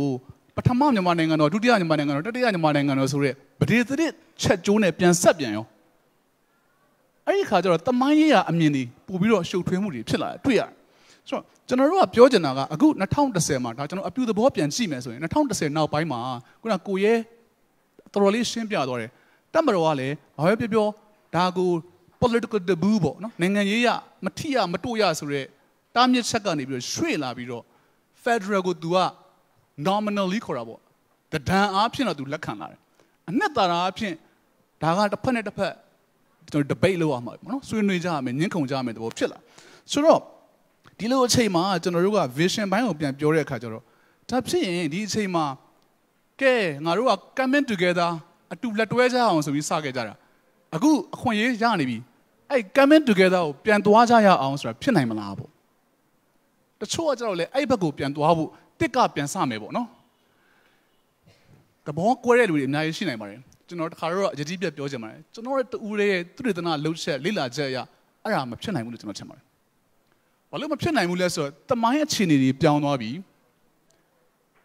နိုင်ငံရေးရုပ်တည်လည်းပြောင်းသွားပြီလို့ထင်ပါတယ်အဲ့တော့ဟိုကျွန်တော်တို့ဒီပညာရှင်တယောက်ရှိပါတယ် Alfred Stephen ဆိုတာ Stephen ကဒီ Federal နဲ့ပတ်သက်ရင်ဟိုထင်ရှားတဲ့ Rika ဆိုတဲ့ပညာရှင်ကိုသုံးသပ်တဲ့အခါမှာ Federal ဆိုတာတဲ့အမြဲတမ်း coming together မဟုတ်ဘူးတဲ့ American model ပေါ့နော်မဟုတ်ဘူးတဲ့ဒါအိန္ဒိယကိုနမူနာထောက်ပြပြီးတော့ခုနလည်းတန်မကြီးလည်းပြောသွားတယ်စကလေးက coming together မဟုတ်ခဲ့ဘူးနော် ဘလို့လဲဆိုတော့ရှိတဲ့ပြည်တောင်ကြီးကိုမကွဲသွားအောင်ထိမ့်ပြီးတော့ Federal လက္ခဏာတွေတဖြည်းဖြည်းနဲ့ဖြည့်ဆွတ်သွားတယ်ဒီနေ့ပြန်ပြောရမယ်ဆိုရင် evolution gradual တဖြည်းဖြည်းနဲ့သွားရမယ်အဲ့ဒါကိုနိုင်ငံရေးသိပ္ပံပညာရှင်တွေက holding together model လို့သူတို့ပြောကြပါတယ်တဘောကတော့စတာကတော့ coming together နဲ့စခဲ့တယ်ဒါပေမဲ့ခုနကရုပ်တက်နံတက်တွေရဲ့ဇီဝိတင်တွေကအင်မတန်မှချိနေသွားတဲ့အချိန်မှာ ကျွန်တော်တို့ကအဲ့ဒါကိုငကိုနေရာပြန်လို့မရတော့တဲ့အတွက်ကြောင့်မို့ကျွန်တော်တို့ကဘာလုပ်ရလဲဆိုတော့ဒါကြီးကိုဘလို့အကောင်းဆုံးဖြစ်အောင်လုပ်မလဲဆိုရယ် holding together model ဟာဖြစ်နိုင်ခြေရှိတဲ့အမျှော်အမြင်ဖြစ်တယ် vision ဖြစ်တယ်လို့ကျွန်တော်ကတော့အဆိုပြုချင်ပါတယ်အဲ့လိုပြောရတာကလည်းဟိုဟိုကျွန်တော်တို့နမူနာတွေလက်ကဘာမှအများကြီးရှိပါတယ်အိန္ဒိယရှိတယ်စပိန်1990နှောင်းပိုင်းရှိတယ်တခါကျွန်တော်ဘယ်လ်ဂျီယမ်အဲမှာလည်းဒီလိုမျိုးဟာတွေရှိပါတယ်လက်တွေ့အခြေအနေရလေကျွန်တော်တို့နိုင်ငံဟာ အသွင်ကူးပြောင်းရေးထဲမှာဖြစ်ပါတယ်အသွင်ကူးပြောင်းရေးဟာတော်လန်ရေးနဲ့မတူပါဘူးတခါလေကျွန်တော်တို့တွေရှုပ်ထွေးတတ်ပါတယ်တော်လန်ရေးဆိုတာအဟောင်းကိုဖယ်ပြီးတော့အသစ်ကိုလိုသလိုပုံသွင်းဖို့ကြိုးစားတာပါကောင်းခြင်းမကောင်းခြင်းမှန်ခြင်းမှားခြင်းကတပိုင်းဖြစ်ပါတယ်အသွင်ကူးပြောင်းရေးကကြတော့စနစ်ဟောင်းနဲ့စနစ်သစ်အတူတွဲပြီးနေရတာပါကိုလှုပ်ချင်တဲ့အတ္တဘာဝကိုဆန္ဒတိုင်းမဖြစ်ပါဘူးပဂတိဘာဝအခြေအနေကဘာလဲဆိုတော့စနစ်နှစ်ခုတွဲလာတာကိုဘလို့ညှိနှိုင်းပြီးတော့ စနစ်ဟောင်းကလည်းလန်ထွက်မသွားအောင်စနစ်ဟောင်းကလည်းအလွန်ကျွံအစိုးရိမ်မလွန်သွားအောင်ဘလို့တွဲခေါ်မလဲဆိုတဲ့ကိစ္စဟာအသွင်ကူးပြောင်းရေးရဲ့ထူးခြားတဲ့လက္ခဏာဖြစ်ပါတယ်ဒါမှမဟုတ်ကျွန်တော်ပြောချင်တာကတော့တက်မတော်ဟာဒီအခုအသွင်ကူးပြောင်းရေးမှာအဓိကကျတဲ့ player ဖြစ်ပါတယ်ဒီ player ကတစ်ကပြန်စားဖို့ဆိုတာအင်မတန်ခက်မယ်လို့ထင်ပါတယ်ခုနကိုရဲပြောသလိုပဲသူ့ရဲ့အထိုင်ဟာ2008ထဲကသူကအထိုင်ချတဲ့အတွက်ကြောင့်မို့ဒီ player ကို တစ်ကပြန်စားဖို့အတင်းတွန်းနေဆိုရင်အနာနဲ့ဆေးမတဲ့တာဆေးကြောင့်လေးတာမျိုးဖြစ်နိုင်ပါတယ်ဟလာဟိုပေါ့ပေါ့စေလို့လို့ခုံပြန်ကြော်လွှားလို့ရအောင်ဆေးထိုးကမှဆေးလဲထိုးလိုက်ကိုပို့ပြီးတော့ခုံတော့မခုံနိုင်တဲ့ဘဝရောက်သွားတာမျိုးကျွန်တော်တို့ဖြစ်မှာလဲဆေးပူရပါတယ်ဒါကြောင့်မို့ကျွန်တော်မြင်တာကတော့ဒီတမတော်ကအခုပြောင်းလဲလာတဲ့အခြေအနေတစ်ခုမှာစိတ်ဝင်စားဖို့ကောင်းတာကအာနာနဲ့ငကိုတုံးကလိုမျိုးဆွဲဆုပ်ထားတဲ့ပုံစံဟာ ရေရှည်မခံနိုင်ဘူးဆိုတော့သူတို့သိပုံရလာပါတယ်ဒါဟာ sustainable မဖြစ်ဘူးဆိုတော့သူတို့သိပုံရပါတယ်ဒါလို့အတင်းဆွဲလို့ရင်ပြည်တွင်းစစ်မီဟုံးတောက်မယ်တိုင်းပြည်ရဲ့ဖွံ့ဖြိုးတိုးတက်မှုနှေးကွေးမယ်နောက်ကျမယ်ဆိုတာသူတို့သိပါတယ်သူတို့ပြောတဲ့စကားအတိုင်းဆိုစစ်သားကငြိမ်းချမ်းရေးအလိုချင်ဆုံးပဲလို့လည်းသူတို့ပြောပါတယ်ဆိုတော့ဒါဟာကောင်းတဲ့လက္ခဏာလို့ကျွန်တော်ထင်တယ်ဒါကိုဆွဲပြီးတော့ကျွန်တော်တို့စုပ်ကင်ထားရမယ်ဟလာဒါပေမဲ့ခုနကပြောသလိုပေါ့ တက်ကပြန်စားဖို့ဆိုတဲ့စဉ်းစားချက်တဲ့ဆိုင်ပို့ပြီးတော့တီထွင်ဖန်တီးမှုရှိတဲ့စဉ်းစားချက်မျိုးကိုစဉ်းစားတင်တယ်လို့ထင်ပါတယ်ဒါပေမဲ့လည်းဒီတိုင်းပြည်တရေဟာဘာလဲဆိုတော့ကိုတော့ honor လုပ်ဖို့လိုပါတယ်အတိမတ်ပြုဖို့လိုပါတယ်ကျွန်တော်ပြန်ချုပ်ပြီးပြောရမယ်ဆိုရင်တော့ဒီတိုင်းပြည်ဟာစတုန်းကတော့ coming together နဲ့စခဲ့ကြတယ်အဲ့ဒါကိုအတိမတ်ပြုရမယ်ပြက်ကွက်ခဲ့တာကိုလည်းဝန်ခံရမယ်ဒါပေမဲ့အခုကတော့တစ်ကပြန်စဆိုတဲ့စာလို့ရှိရင်ဒီအခြေအနေကနေပြီးတော့ပိုကောင်းမွန်တဲ့အခြေအနေကြအောင် ဘလို့ evolution ပေါ့စင်ကဲအပြောင်းအလဲတွေနဲ့လှုပ်သွားမလဲဆိုတာကိုစဉ်းစားနိုင်တယ်ဆိုရင်အဲ့ဒါဟာ creative အဖြစ်ဆုံးထိုးထွင်းဖန်တီးမှုတည်ထွင်မှုရှိဆုံးအဖြစ်ဖြစ်မလို့ကျွန်တော်ယူဆပါတယ်။နောက်ပိုင်းမှာပဲကျွန်တော်တို့ဘယ်လိုလုပ်မလဲဆိုတာဆက်ပြီးအကြံပေးအောင်ပါဟုတ်ကဲ့ကျေးဇူးပါဆိုတော့ဆိုတော့ဒီဒီဆရာ၃ယောက်ကတော့ဒါသူတို့ရေးသားခဲ့တဲ့ဆောင်းပါးတွေပေါ်မှာမူတည်ပြီးတော့မှ ပြောခဲ့ကြတာပေါ့နော်အခုကျွန်တော်ဆွေးနွေးဘက်တွေဘက်ကိုလည်းလှည့်ပေးခြင်းပါတယ်ဆိုတော့ဆွေးနွေးဘက်တွေကတော့ဒီစာအုပ်ကိုလည်းဖတ်ပြီးပြီလို့ကျွန်တော်ယူဆပါတယ်တခါပြောစရာတွေလည်းရှိနေလေဦးမယ်လို့ထင်ပါတယ်အခုကျွန်တော်ဆရာစောကပေးကိုပဲအရင်ဆုံးမေးခြင်းပါတယ်အဲ့တော့ဟိုကျွန်တော်တို့ကဒီ Federal အကြောင်းတွေပြောတဲ့အခါမှာအဲဘယ်လို Federal မျိုးလဲပေါ့နော်ဆိုတော့အထူးသဖြင့်ဒါလူမျိုးကိုကျွန်တော်တို့ကအခြေခံတဲ့ပြည်ထောင်စုလားဒါမှမဟုတ်နေရာဒေသကိုအခြေခံတဲ့ပြည်ထောင်စုလားဆိုတော့ပြဿနာလည်းရှိတယ်ပေါ့အဲ့တော့ ရှေ့ရဆရာတုံးအောင်ပြောသွားခဲ့တဲ့အပေါ်မှာကောအဲဆရာဒီဆရာဆော့ကပီရဲ့ဒီပြောခြင်းတဲ့အနေထားရအောင်ဒီအပေါ်မှာဘယ်လိုရှုမြင်တယ်လဲဆိုတာကျွန်တော်သိပြတယ်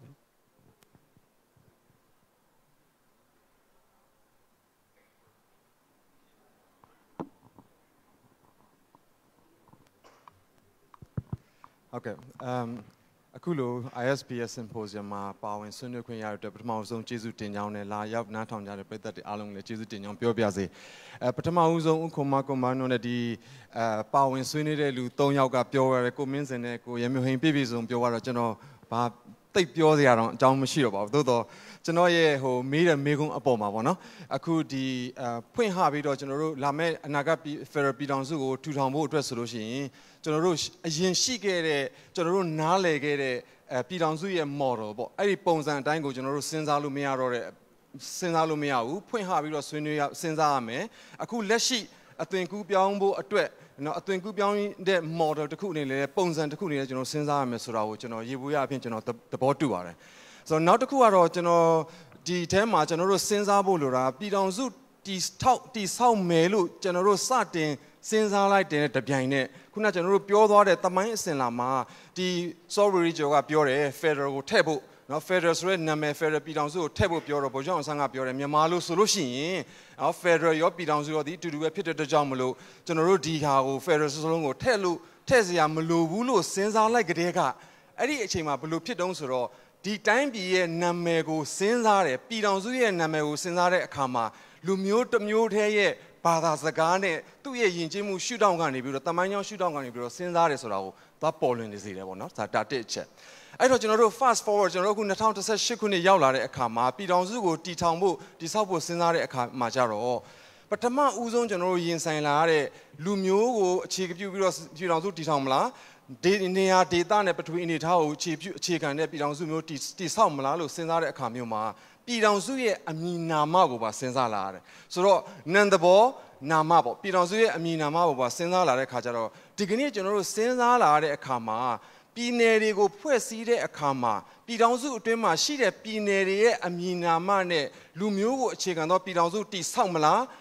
ဒေသဒေသကိုအခြေခံအခြေခံတဲ့ပြည်ထောင်စုမျိုးသားတည်ဆောက်မလားကိုစဉ်းစားမစဉ်းစားခင်မှာကျွန်တော်တို့ကပြည်ထောင်စုရဲ့အမည်နာမကိုလည်းစဉ်းစားလာရတယ်ပေါ့နော်ဆိုတော့ပြည်ထောင်စုအမည်နာမကိုစဉ်းစားလာတဲ့အခါမှာတော့အကယ်၍ ကျွန်တော်တို့ပြည်ထောင်စုကြီးကိုလူမျိုးကိုအခြေပြုတဲ့အခြေခံတဲ့ပြည်ထောင်စုလို့ပြည်ထောင်စုရဲ့လို့တိဆောက်ဖို့အတွက်ကျွန်တော်တို့ဆန္ဒမရှိဘူးဆိုရင်ပြည်ထောင်စုရဲ့အမည်နာမကိုလည်းပဲလူမျိုးကိုအခြေခံသောပြည်ထောင်စုအမည်နာမမဖြစ်ဖို့ဆိုတာကိုလည်းပဲကျွန်တော်တို့စဉ်းစားဖို့လိုလာတယ်ဆိုတော့ကျွန်တော်တို့ဘယ် paradigm ဘယ် model နဲ့သွားမလဲဆိုတော့တိုင်းရင်းသားပြည်သူတွေအားလုံးကစဉ်းစားမှာဖြစ်တယ်သို့တော်လည်းပဲအဲကျွန်တော်တို့အကယ်၍ အဲပထဝီအနေထားတစ်ခုတည်းမှာပေါ်မှာပဲအခြေခံပြီးတော့နေရာဒေသရဲ့အမည်နာမပေါ်မှာပဲအခြေခံပြီးစဉ်းစားမယ်ဆိုလို့ရှိရင်တော့ပြည်ထောင်စုရဲ့အမည်နာမကိုလည်းပဲအဲ့ဒီစံချင်းစံနှုန်းနဲ့စဉ်းစားဖို့လိုတယ်ဆိုတော့ပထမဦးဆုံးအဲကျွန်တော်ပြောချင်ပါတယ်ဆိုတော့အဲ့လိုစဉ်းစားတဲ့အခါမှာလည်းပဲအဲကျွန်တော်တို့အနေနဲ့ကတော့အခုဒီ17ရာစုညဉ့်ညဉ့်ပင်လုံပင်လုံညီလာခံပေါ့နော်ဒီညဉ့်ညဉ့်ညီလာခံတွေမှာပါဝင်တဲ့အဖွဲ့အစည်းအသီးသီးပေါ့နော်အဖွဲ့အစည်းအသီးသီးကစဉ်းစားတဲ့အခါမှာလမ်းလမ်းနဲ့တကန်အဖွဲ့အစည်းရောနိုင်ငံရေးပါတီတွေရောစဉ်းစားတဲ့အခါကျလို့ရှိရင်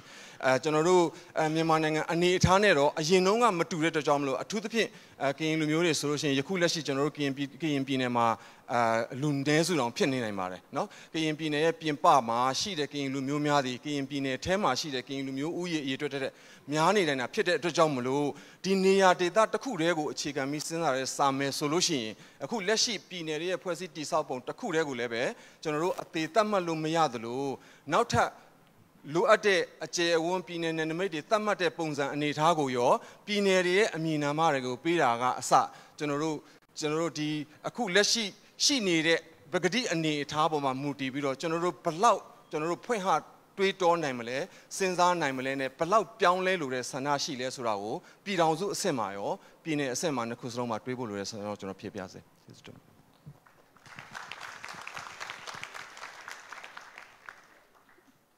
ကျေးဇူးပါဗျာ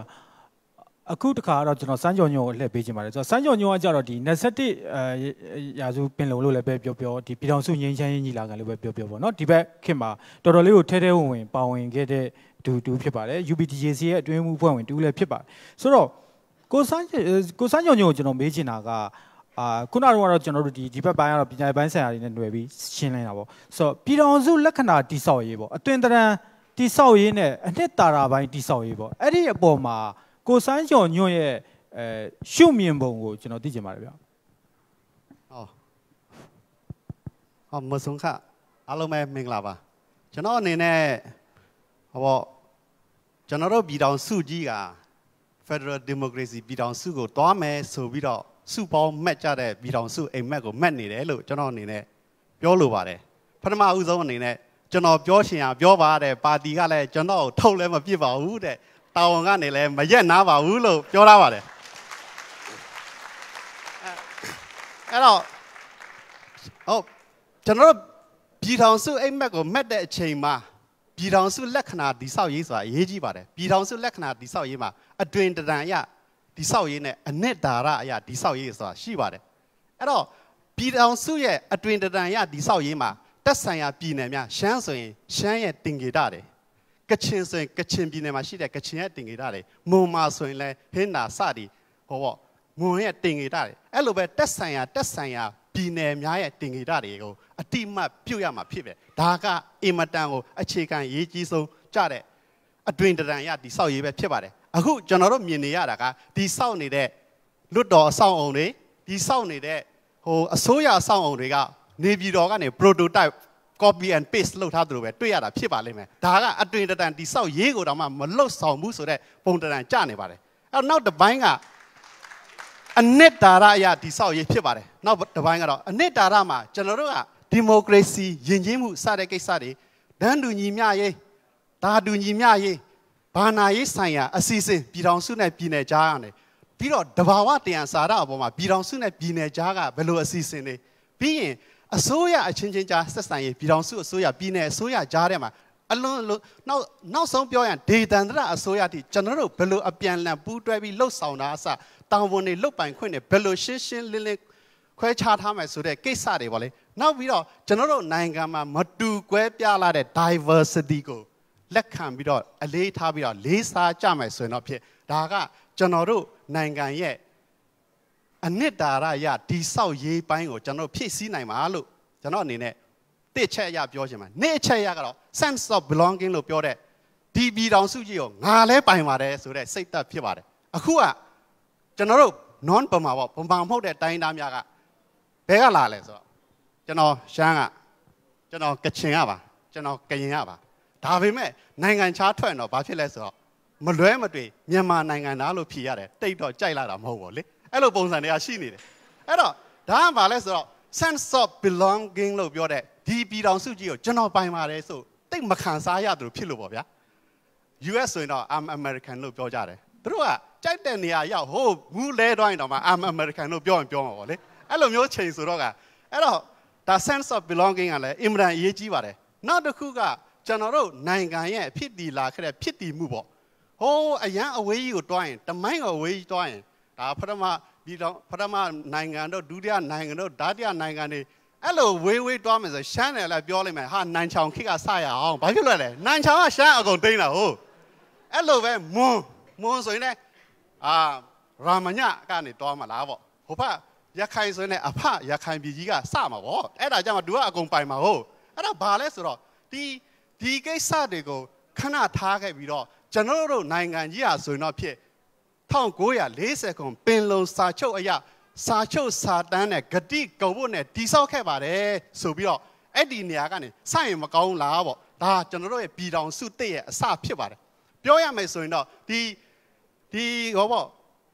1940ခုမတိုင်ခင်မှာရှိခဲ့တဲ့ Federated Shan State Chin Hill Kachin Hill ရဲ့ Provo Burma ရဲ့ colony နယ်လေးခုပါ colony နယ်မတိုင်ခင်ကတော့သူ့ဟာသူလွတ်လပ်စွာနေတာပါ အဲ့တော့ colony နယ်လေးခုနဲ့လွတ်လပ်တဲ့ကရနီပြည်နယ်များနဲ့စုပေါင်းခဲ့တဲ့ကျွန်တော်တို့ပြည်တော်စုတစ်ပေါ့လေဒီကနေစိုင်တော့အကောင်းဆုံးဖြစ်မယ်လို့ကျွန်တော်တင်ပြလိုပါတယ်ဒါပေမဲ့အဲ့အဲ့ဒီ number ၄အချက်အနေနဲ့ကျွန်တော်ပြောချင်တာကတိုင်းရင်းသားလူမျိုးများရဲ့ရပိုင်ခွင့်အခွင့်အရေးတမိုင်းဆိုင်ရာအမွေနဲ့ legacy ဖြစ်ပါတယ်အဲ့တော့ဒီအပိုင်းမှာကဒါကိုနားမလည်ပေးနိုင်ဘူးဆိုရင်တော့ဖြစ်တေချာတာက ကျွန်တော်တို့ပြည်တော်စုကိုဆက်ပြီးတည်ဆောက်ဖို့အင်မတန်ခက်ပါတယ်ဟောခဏပြောတဲ့ဒီနိုင်ငံကငါတို့ကစတယ်ဒီနိုင်ငံအားလုံးကိုငါတို့ပိုင်တယ်ဆိုတဲ့ဒီနှစ်ခုပေါ့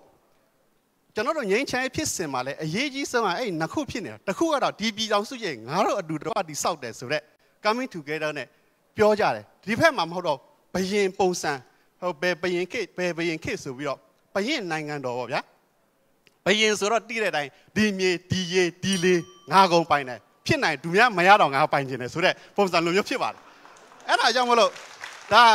ဒါ coming together လို့ဒါလို့ပြောတဲ့အတူတကွလာရောက်စုပေါင်းပြီးတော့တည်ခဲ့တဲ့ပြည်တော်စုနဲ့ဒီဘရင့်နိုင်ငံလို့ပြောတဲ့ ideology နှစ်ခုကြားထဲမှာပိတ်မိနေတော့ဘာဖြစ်လဲဆိုတော့အာမင်းတို့ကလာရင်ငါကယူဖို့အတွက်ပဲမလာနဲ့ပေးဖို့အတွက်ဘာစဉ်းစားအောင်လို့ဟိုဘက်ကလည်းငါတို့ပေးစရာကိုမရှိဘူး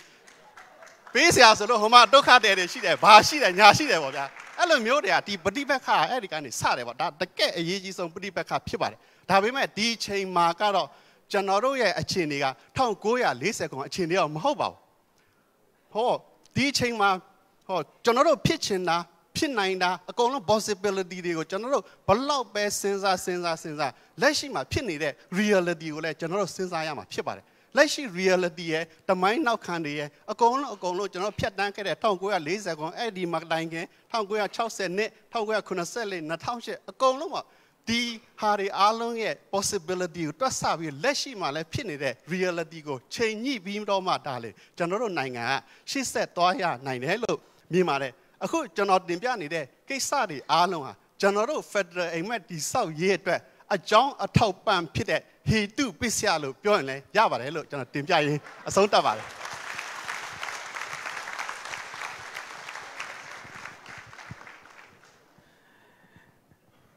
ကျေးဇူးတင်ပါတယ်ဆန်းချန်ကျော်ဆိုတော့အချိန်ကလည်းနေနေပြီဖြစ်တဲ့အတွက်ကြောင့်ကျွန်တော်ကိုထမင်းလီကိုကျွန်တော်ဟိုလူတိုရှင်းတစ်ခုလောက်ပဲကျွန်တော်ပြောစေချင်ပါတယ်ဆိုတော့ပြဿနာကခုနကကျွန်တော်ရှေ့မှာလဲဆရာ9ယောက်က အာအတီးတီးသူတို့ရဲ့ကဏ္ဍနဲ့သူတို့ပြောသွားတဲ့အတွက်ကြောင့်မလို့တော်တော်တော့စုံနေပါတယ်ဒါပေမဲ့မစုံသေးပဲနဲ့တခုကြံနေတာခေါင်းဆောင်တွေရဲ့အမြင်ပေါ့နော်ဆိုတော့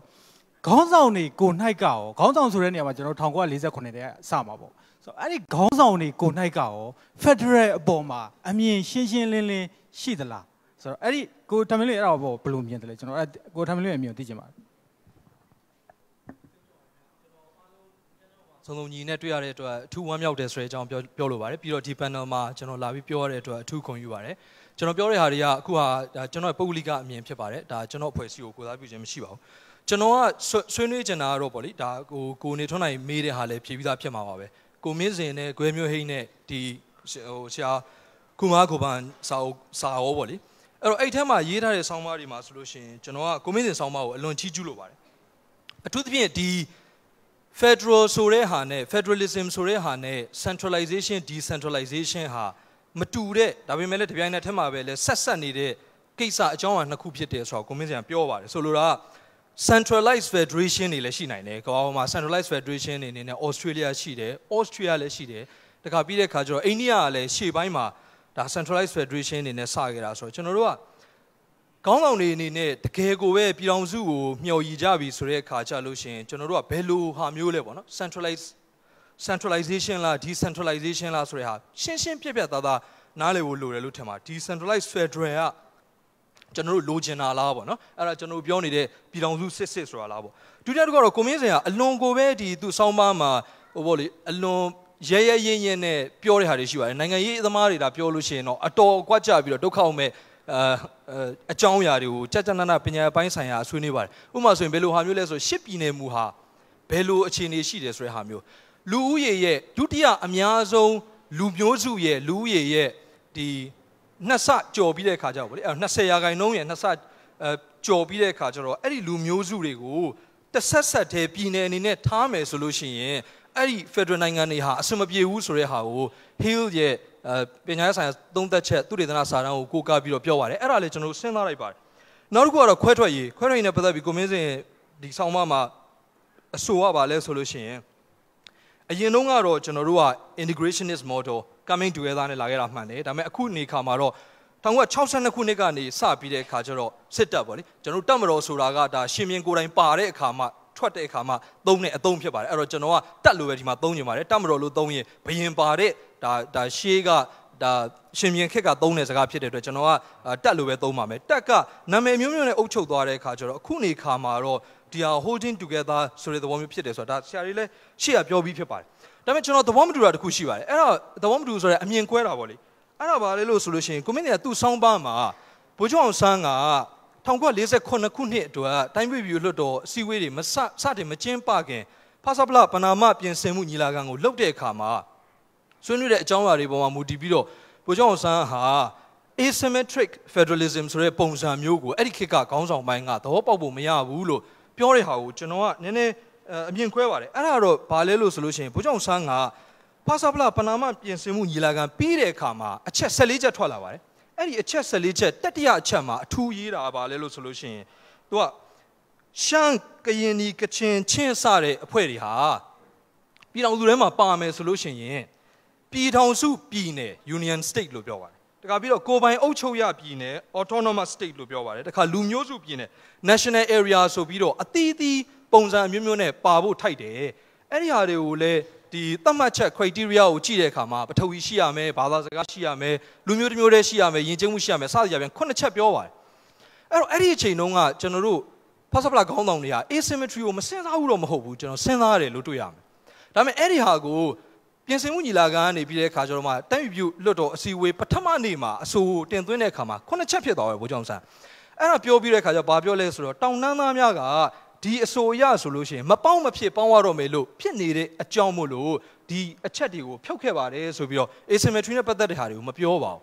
ဒါပေမဲ့ကျွန်တော်ထင်တယ်ပြဿနာကဘာလဲလို့ဆိုလို့ရှိရင်အချင်းကလည်းနီးလာပြီဆိုတော့ဘိုးကျောင်းအောင်ဆန်းအပါဝင်ခေါင်းဆောင်တွေလက်ရှိခေါင်းဆောင်တွေက asymmetry ကိုသဘောမပေါက်တာမဟုတ်ဘူးတက်မတော်အစိုးရတက်အစိုးရက asymmetry ကိုသဘောပေါက်တယ်နဝတဒါကြောင့်မို့လို့ကျွန်တော်တို့ဝါတို့ကိုကန့်တို့မိုင်းလာတို့ဆိုတာပေါ်လာတာဒါပေမဲ့ပြဿနာပါလဲလို့ဆိုလို့ရှိရင်ကျွန်တော်တို့တိုင်းပြည်မှာ Federal Dilemma လို့ပြောပါတယ် Silverstein လည်းပြောတယ် David Steinberg လည်းပြောတယ်ရှမ်းမမယ်ရီလည်းပြောပါတယ် Federal Dilemma ကဘာတော့ဆိုတော့ခေါင်းဆောင်တွေကိုနှိုက်ကိုကပဲဗမာပြည်မကိုဝန်းရံပြီးတော့ပြည်နယ်များကဝန်းရံတဲ့ Federal ပုံစံဆိုတာကိုအဆက်ဆက်စဉ်းစားလာခဲ့ကြပါတယ်အဲ့ဒီအတူကအဲ့ဒီအတူက Federal လို့ပြောပင်ပြောတော့ညာလဲပဲတကယ်ကိုပဲလူနည်းစုတိုင်းရင်းသားများလိုလားတဲ့ Federal ပုံစံမျိုးမဖြစ်တာလို့ကျွန်တော်တော့စဉ်းစားလိုပါတယ်ကျေးဇူးတင်ပါတယ်ခင်ဗျ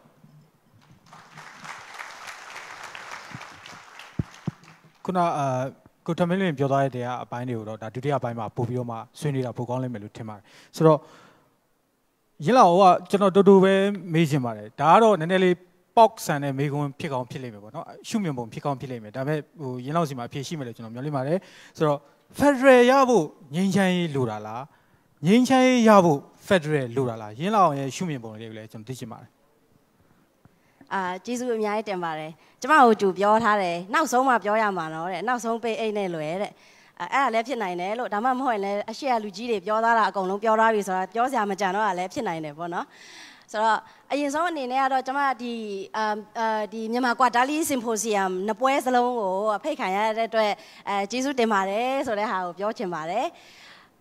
ဖက်ဒရယ်အတွက်ဖက်ဒရယ်ရဖို့အတွက်ငြိမ်းချမ်းရေးလိုလားငြိမ်းချမ်းရေးရဖို့အတွက်ဖက်ဒရယ်လိုလားပေါ့နော် ဆိုတဲ့ခါကျတော့အာကျမအနေနဲ့ကတော့ငြိမ်းချမ်းရေးရဖို့အတွက်ဖက်ဒရယ်ရဖို့လိုတယ်လို့မြင်တယ်။ဘာဖြစ်လို့အဲ့လိုမျိုးမြင်လဲဆိုရင်ကျမတို့ကစဉ်းစားတယ်။ဘာကြောင့်ငြိမ်းချမ်းရေးလိုချင်တာလဲပေါ့။ဘဘာကြောင့်ငြိမ်းချမ်းရေးလိုချင်တာလဲဆိုရင်ကျမတို့တိုင်းပြည်ကမငြိမ်းချမ်းလို့ငြိမ်းချမ်းရေးလိုချင်တာဖြစ်တယ်ဘာကြောင့်မငြိမ်းချမ်းတာလဲဆိုတဲ့အခါမှာကျမတို့ဒီမှာတက်ရောက်လာတဲ့လူတွေသိကြတဲ့အတိုင်းပဲတနိုင်ငံလုံးလဲတွေ့တွေ့ကြုံနေရတာပဲအနှစ်60 90ပြည်တွင်းစစ်ကြီးဖြစ်နေလို့ မငြိမ်းချမ်းတာဖြစ်တယ်ပြည်တွင်းစစ်ကြီးကရောဘာကြောင့်ဖြစ်တာလဲဆိုတာကိုကြည့်လိုက်တဲ့အခါမှာအစားအစာချင်းတုန်းကအာဆရာခွန်မကိုဗန်းပြောထားတဲ့အာပင်လုံစာချုပ်ထဲမှာပါခဲ့တဲ့သဘောတူညီချက်တွေပင်လုံစိတ်ဓာတ်တွေပင်လုံဂတိကဝတ်တွေကိုအပြည့်အဝအကောင်ထဲပေါ်ဆောင်ရွက်နိုင်ခဲ့ခြင်းမရှိတဲ့အတွက်ကြောင့်မလို့ဒီပြည်တွင်းစစ်ကြီးကဖြစ်လာတာဖြစ်တယ် အဲ့ဒီလိုမျိုးအပြည့်အဝအကောင်ထဲပေါ်ဆောင်ရွက်နိုင်ခြင်းမရှိတဲ့၍ဒီပြည်တွင်းစစ်ကြီးကဆက်ပြီးတော့မှတည်ရှိသွားမှာဖြစ်တယ်လို့ကျမတို့သုံးသပ်မိတယ်အဲ့ဒီအတွက်ကြောင့်မလို့ကျမအမြင်မှာကတော့ငြိမ်းချမ်းရေးရဖို့အတွက်ဖက်ဒရယ်ရဖို့လိုပါတယ်ဖက်ဒရယ်ရပြီးမှငြိမ်းချမ်းရေးရမှာဖြစ်ပါတယ်ငြိမ်းချမ်းရေးယူပြီးမှဖက်ဒရယ်ယူပါလို့ရောရောင်ပြီးတော့မှ အာချော်လေးရောထိုင်ဖြစ်အောင်ဟောနေတဲ့တရားတွေအများကြီးလဲရှိနေပါတယ်ကျမတို့တိုင်းပြည်မှာဒါပေမဲ့အဲ့ဒီလိုမျိုးဟောနေတဲ့တရားတွေထဲမှာပြောတဲ့ငင်းချမ်းရေးဆိုတာဘာလဲဆိုတဲ့ဟာကိုလည်းကျမအနှဲငယ်အာအာဆွေးနွေးကြည့်ချင်ပါတယ်တကယ်တမ်းအခုကျမတို့ပြောနေတဲ့ Federal အရန်လိုချင်တယ်ဆိုရင်ငင်းချမ်းရေးယူလိုက်လို့ပြောတဲ့လူတွေရှိတယ်ဒါပေမဲ့ အဲ့ဒီလူကြီးမင်းတွေပြောနေတဲ့ငင်းချမ်းရေးဆိုတာဘာလဲဆိုတဲ့ဟာကိုကျမတို့သုံးသပ်ကြည့်လိုက်တဲ့အခါမှာတကယ်တမ်းကငင်းချမ်းရေးမဟုတ်ပါဘူးအပြစ်ခတ်ရက်စဲရေးကိုပြောတာဖြစ်ပါတယ်စစ်မတိုက်နဲ့စစ်မတိုက်ရင်ငြိမ်းချမ်းပြီလို့ယုံကြည်ကြလို့ပြောကြတဲ့ယုံပြောပြောဆိုချက်တွေဖြစ်ပါတယ်တကယ်တမ်းကငြိမ်းချမ်းရေးဆိုတာနိုင်ငံတော်ပိုင်တိုင်ပင်ခံပုဂ္ဂိုလ်လည်းပြောဖူးတယ်တခြားလူတွေလည်းပြောဖူးတယ်စစ်မတိုက်ယုံနဲ့ မငြိမ်းချမ်းတာမဟုတ်ပါဘူးငြိမ်းချမ်းရေးဆိုတာအဲ့ဒီထက်အများကြီးကျယ်ပြန့်ပါတယ်အစောပိုင်းတုန်းကအိန္ဒိယကတာမတ်ပြောထားတာတခုရှိပါတယ်အဲ့ဒါကတော့တိုင်းပြည်တစ်ပြည်မှာအဲ့ဒီပြည်သူအဲ့ဒီပြည်နယ်တိုင်းပြည်ထဲမှာရှိတဲ့ပြည်သူလူထုတွေလုံခြုံစိတ်ချစွာဂုံတိတ်ခါရှိရှိနဲ့အဲစိတ်စိတ်ချယုံကြည်စွာနဲ့ကိုယ်တိုင်းပြည်အတွက်ကိုယ်တိုင်းပြည်အတွင်းထဲမှာနေထိုင်နိုင်ခွင့်ရှိတာ ကိုလှုပ်ချင်တဲ့စီးပွားရေးပညာရေးလူမှုရေးတွေကိုလွတ်လွတ်လပ်လပ်လုပ်နိုင်ခွင့်ရှိတဲ့အနေအထားမျိုးကိုမှကျမတို့ကငြိမ်းချမ်းတယ်လို့ပြောလို့ရတယ်။ဆိုတဲ့အခါကျတော့ငြိမ်းချမ်းရေးကအပြစ်ခတ်ရစဲရေးမဟုတ်ပါဘူး။တကယ်တမ်းကျတော့အပြစ်ခတ်ရစဲရေးလို့ပြောလိုက်ရင်တောင်မှတကယ်တမ်းအပြစ်ခတ်ရစဲနေသလားဆိုတော့လေအားလုံးသိကြတဲ့အတိုင်းပဲဟိုလက်မှတ်မထိုးတဲ့လူတွေမရက်တဲ့အပြင်ကိုထိုးထားတဲ့လူတွေလည်းအပြစ်ခတ်ရက်တာမဟုတ်ပါဘူး။တိုက်နေကြတုံးပဲဆိုတဲ့ဟာကိုလည်းကျမတို့အားလုံးအသိပဲဖြစ်ပါတယ်။ဆိုတော့ပြန်ချုပ်ပြီးပြောရမယ်ဆိုရင်တော့အာ ငင်းချမ်းရေးရဖို့အတွက် Federal ရဖို့လိုပါတယ်ပေါ့နော်။မဲ့ Federal လို့ပြောတဲ့အခါမှာကျမတို့ကဘယ်လိုမျိုး Federal ကိုပြောတာလဲဆိုတဲ့ဟာကိုလည်းကြည့်ဖို့လိုပါတယ်။ဒီတိုင်းပဲ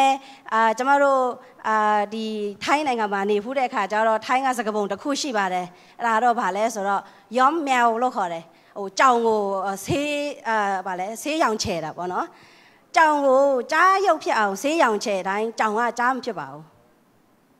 Federal ကိုလည်းဟိုဟာဒီဟာလေးတွေထည့်ပြီးတော့မှ Federal အယောင်လေးခြေလိုက်ယုံနဲ့ဘယ် Federal မဖြစ်လာပါဘူးအဲ့ဒီအတွက်ကြောင့်မလို့စစ်မှန်တဲ့ Federal ဖြစ်ဖို့လိုတယ်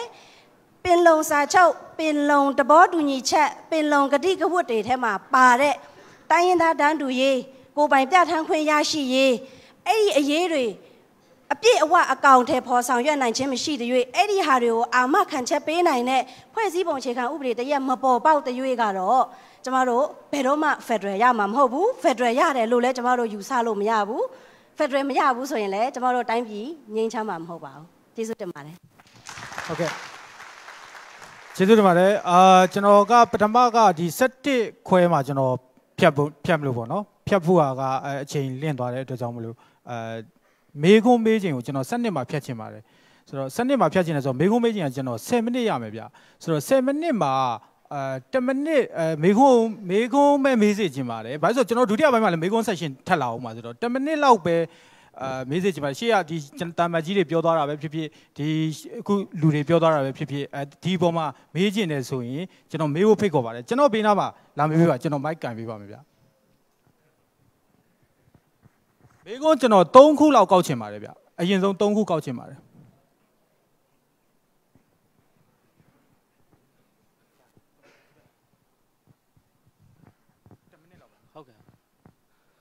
ဟိုကျွန်တော်ဒီလေဟို Foreign Federation ကထုတ်တဲ့အခြေပြု Federalism စာအုပ်မှာ Federal နဲ့ပတ်သက်ပြီးတော့ Federal ကဒီတိကျတယ်ပေါ့နော်ပုံစံတစ်ခုရဲ့လို့တော့ဒါတန်းချက်တော့မရှိဘူးမိမိတို့တက်ဆိုင်ရာနိုင်ငံရဲ့မြို့သားတွေဦးစားပေးပုံမှာမူတည်ပြီးတော့ရေးဆွဲပြဋ္ဌာန်းရတယ်လို့ဆိုထားတယ်ဟုတ်တူကျွန်တော်တို့ဒီတခြား Federal စာအုပ်ဒီမှာလည်းကိုပိုင်ပြဋ္ဌာန်းခွင့်နဲ့ပတ်သက်ပြီးတော့ဟိုနိုင်ငံတကာမှာပေါ့နော်တိကျတဲ့ဖွင့်ဆိုချက်တွေမရှိဘူးလို့ဆိုထားတယ် အဲ့တော့ကျွန်တော်ဒီငိမ့်ငိမ့်လေးညီလာခံမှာတဘောတင်ချက်မရတဲ့အချက်၉ချက်ရှိတယ်အဲ့ဒီမှာနံပါတ်9အချက်ကပြည်နယ်တွေကနေပြီးတော့ပြည်နယ်ဖွဲ့စည်းပုံအခြေခံဥပဒေရေးဆွဲဖို့တောင်းဆိုထားတဲ့အချက်ပါတယ်အဲ့မှာကျွန်တော်လေ့လာမိတော့တော့ဒီကမ္ဘာအင်အားကြီးနိုင်ငံတွေမှာတော့ဖက်ဒရယ်နိုင်ငံကြီးတွေပါတော့ဖွဲ့စည်းပုံအရဗဟိုနဲ့ပြည်နယ်ပေါ့နော်အာဏာခွဲဝေတတ်မှတ်ထားတာဖြစ်ပြီးတော့ဒီပြည်နယ်ရေတို့တော့တီးခြားဖွဲ့စည်းပုံအခြေခံဥပဒေရေးဆွဲတတ်မှတ်ထားတာမျိုးတိတ်မတွေ့ရဘူးပေါ့နော်ဒီပေါ်မှာ ဟိုဒီကပေါ့နော်ပိုးကိုတွေသဘောထားအမြင်လေးပေါ့အထူးသဖြင့်ကိုမင်းစင်ရဲ့ဟိုသဘောထားအမြင်ပေါ့နော်အဲ့ကိုမင်းစင်ရဲ့သဘောထားအမြင်ကိုကိုမင်းစင်ရဲ့ပုဂ္ဂလိကအမြင်နဲ့ဟိုကိုမင်းစင်တို့ကတကယ်လို့နိုင်ငံတော်အဖွဲ့အစည်းတွေမှာပါတယ်တာဝန်ရှိပုဂ္ဂိုလ်တယောက်ဖြစ်ခဲ့မယ်ဆိုရင်အစိုးရဘက်ကနေစာနာနားလည်ပေးနိုင်မယ်အမြင်တစ်ခုပေါ့အဲ့နှစ်ခုကိုကျေးဇူးပြီးဖြေချပေးပါဦးဆိုတော့နောက်တစ်ယောက်ကျွန်တော်ဖိတ်တယ်လူငယ်ပိုင်းကိုကျွန်တော်ပို့ဦးစားပေးချင်ပါတယ်ဗျရိတ်ခဏအကိုကြီးခဏလာရိတ်ထွက်လာရ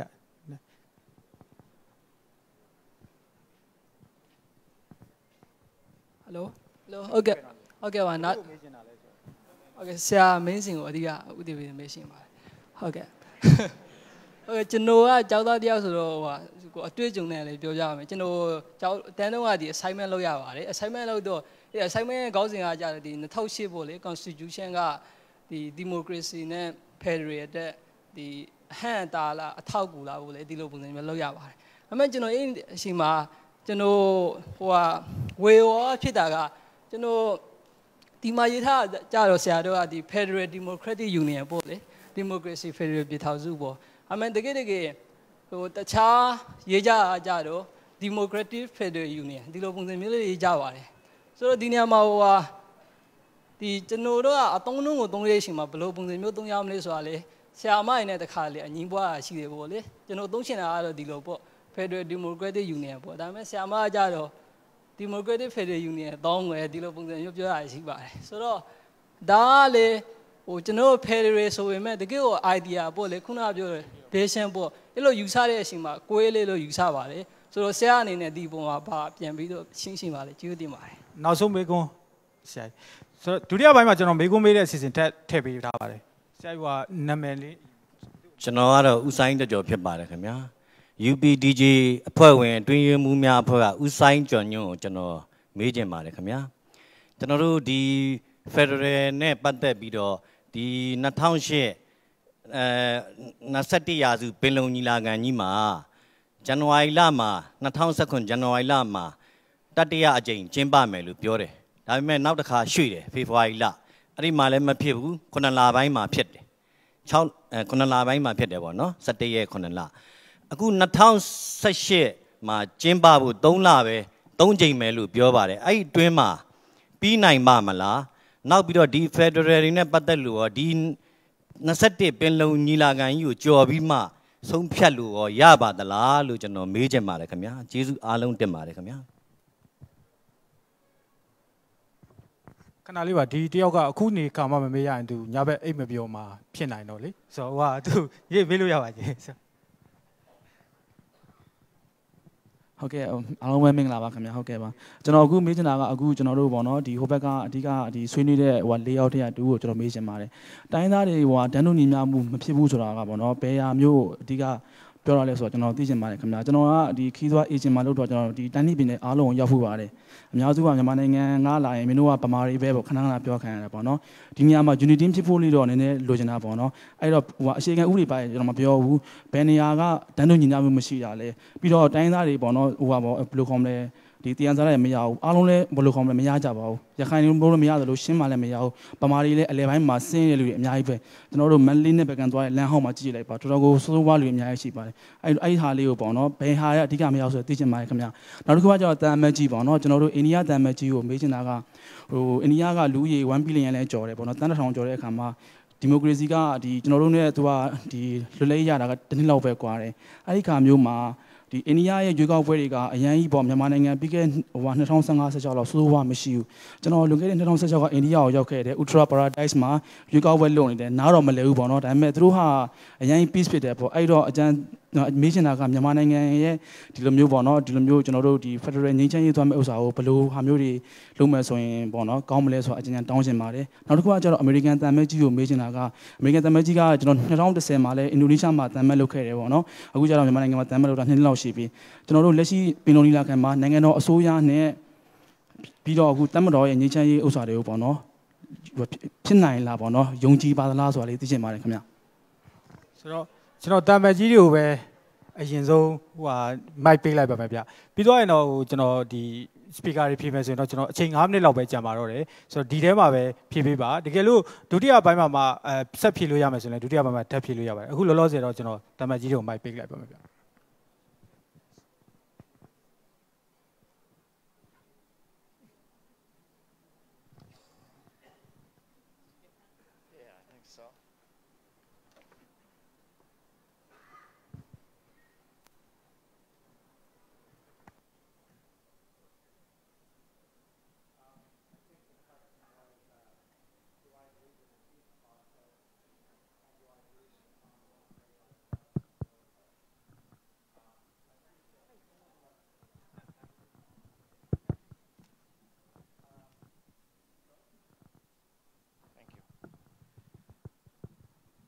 So I think, um,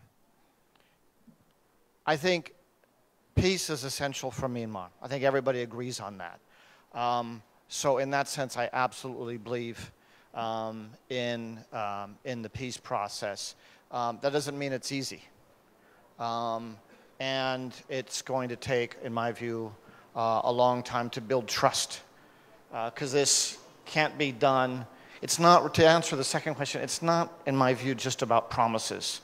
Um, it's about building trust. The promises could be sincere or not, but what's important is that people have trust. And this is not easy to do after so many years of conflict. And so, open dialogues like this um, and small steps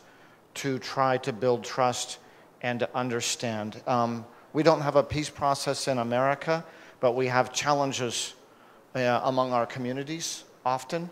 And so, in some ways, we have to do the same thing. And it's in America, it's particularly important that people like me, because I'm from the traditionally dominant group in America, so it's more important for people like me to work really hard to try to understand the concerns of others minorities. And so I think that kind of dialogue and trust building is more important. Um, and, and that is really the key, I think, going forward. Thank you.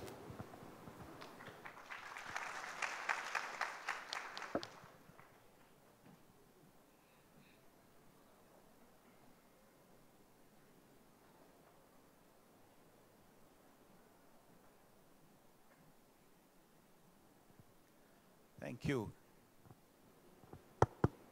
Um, if I got the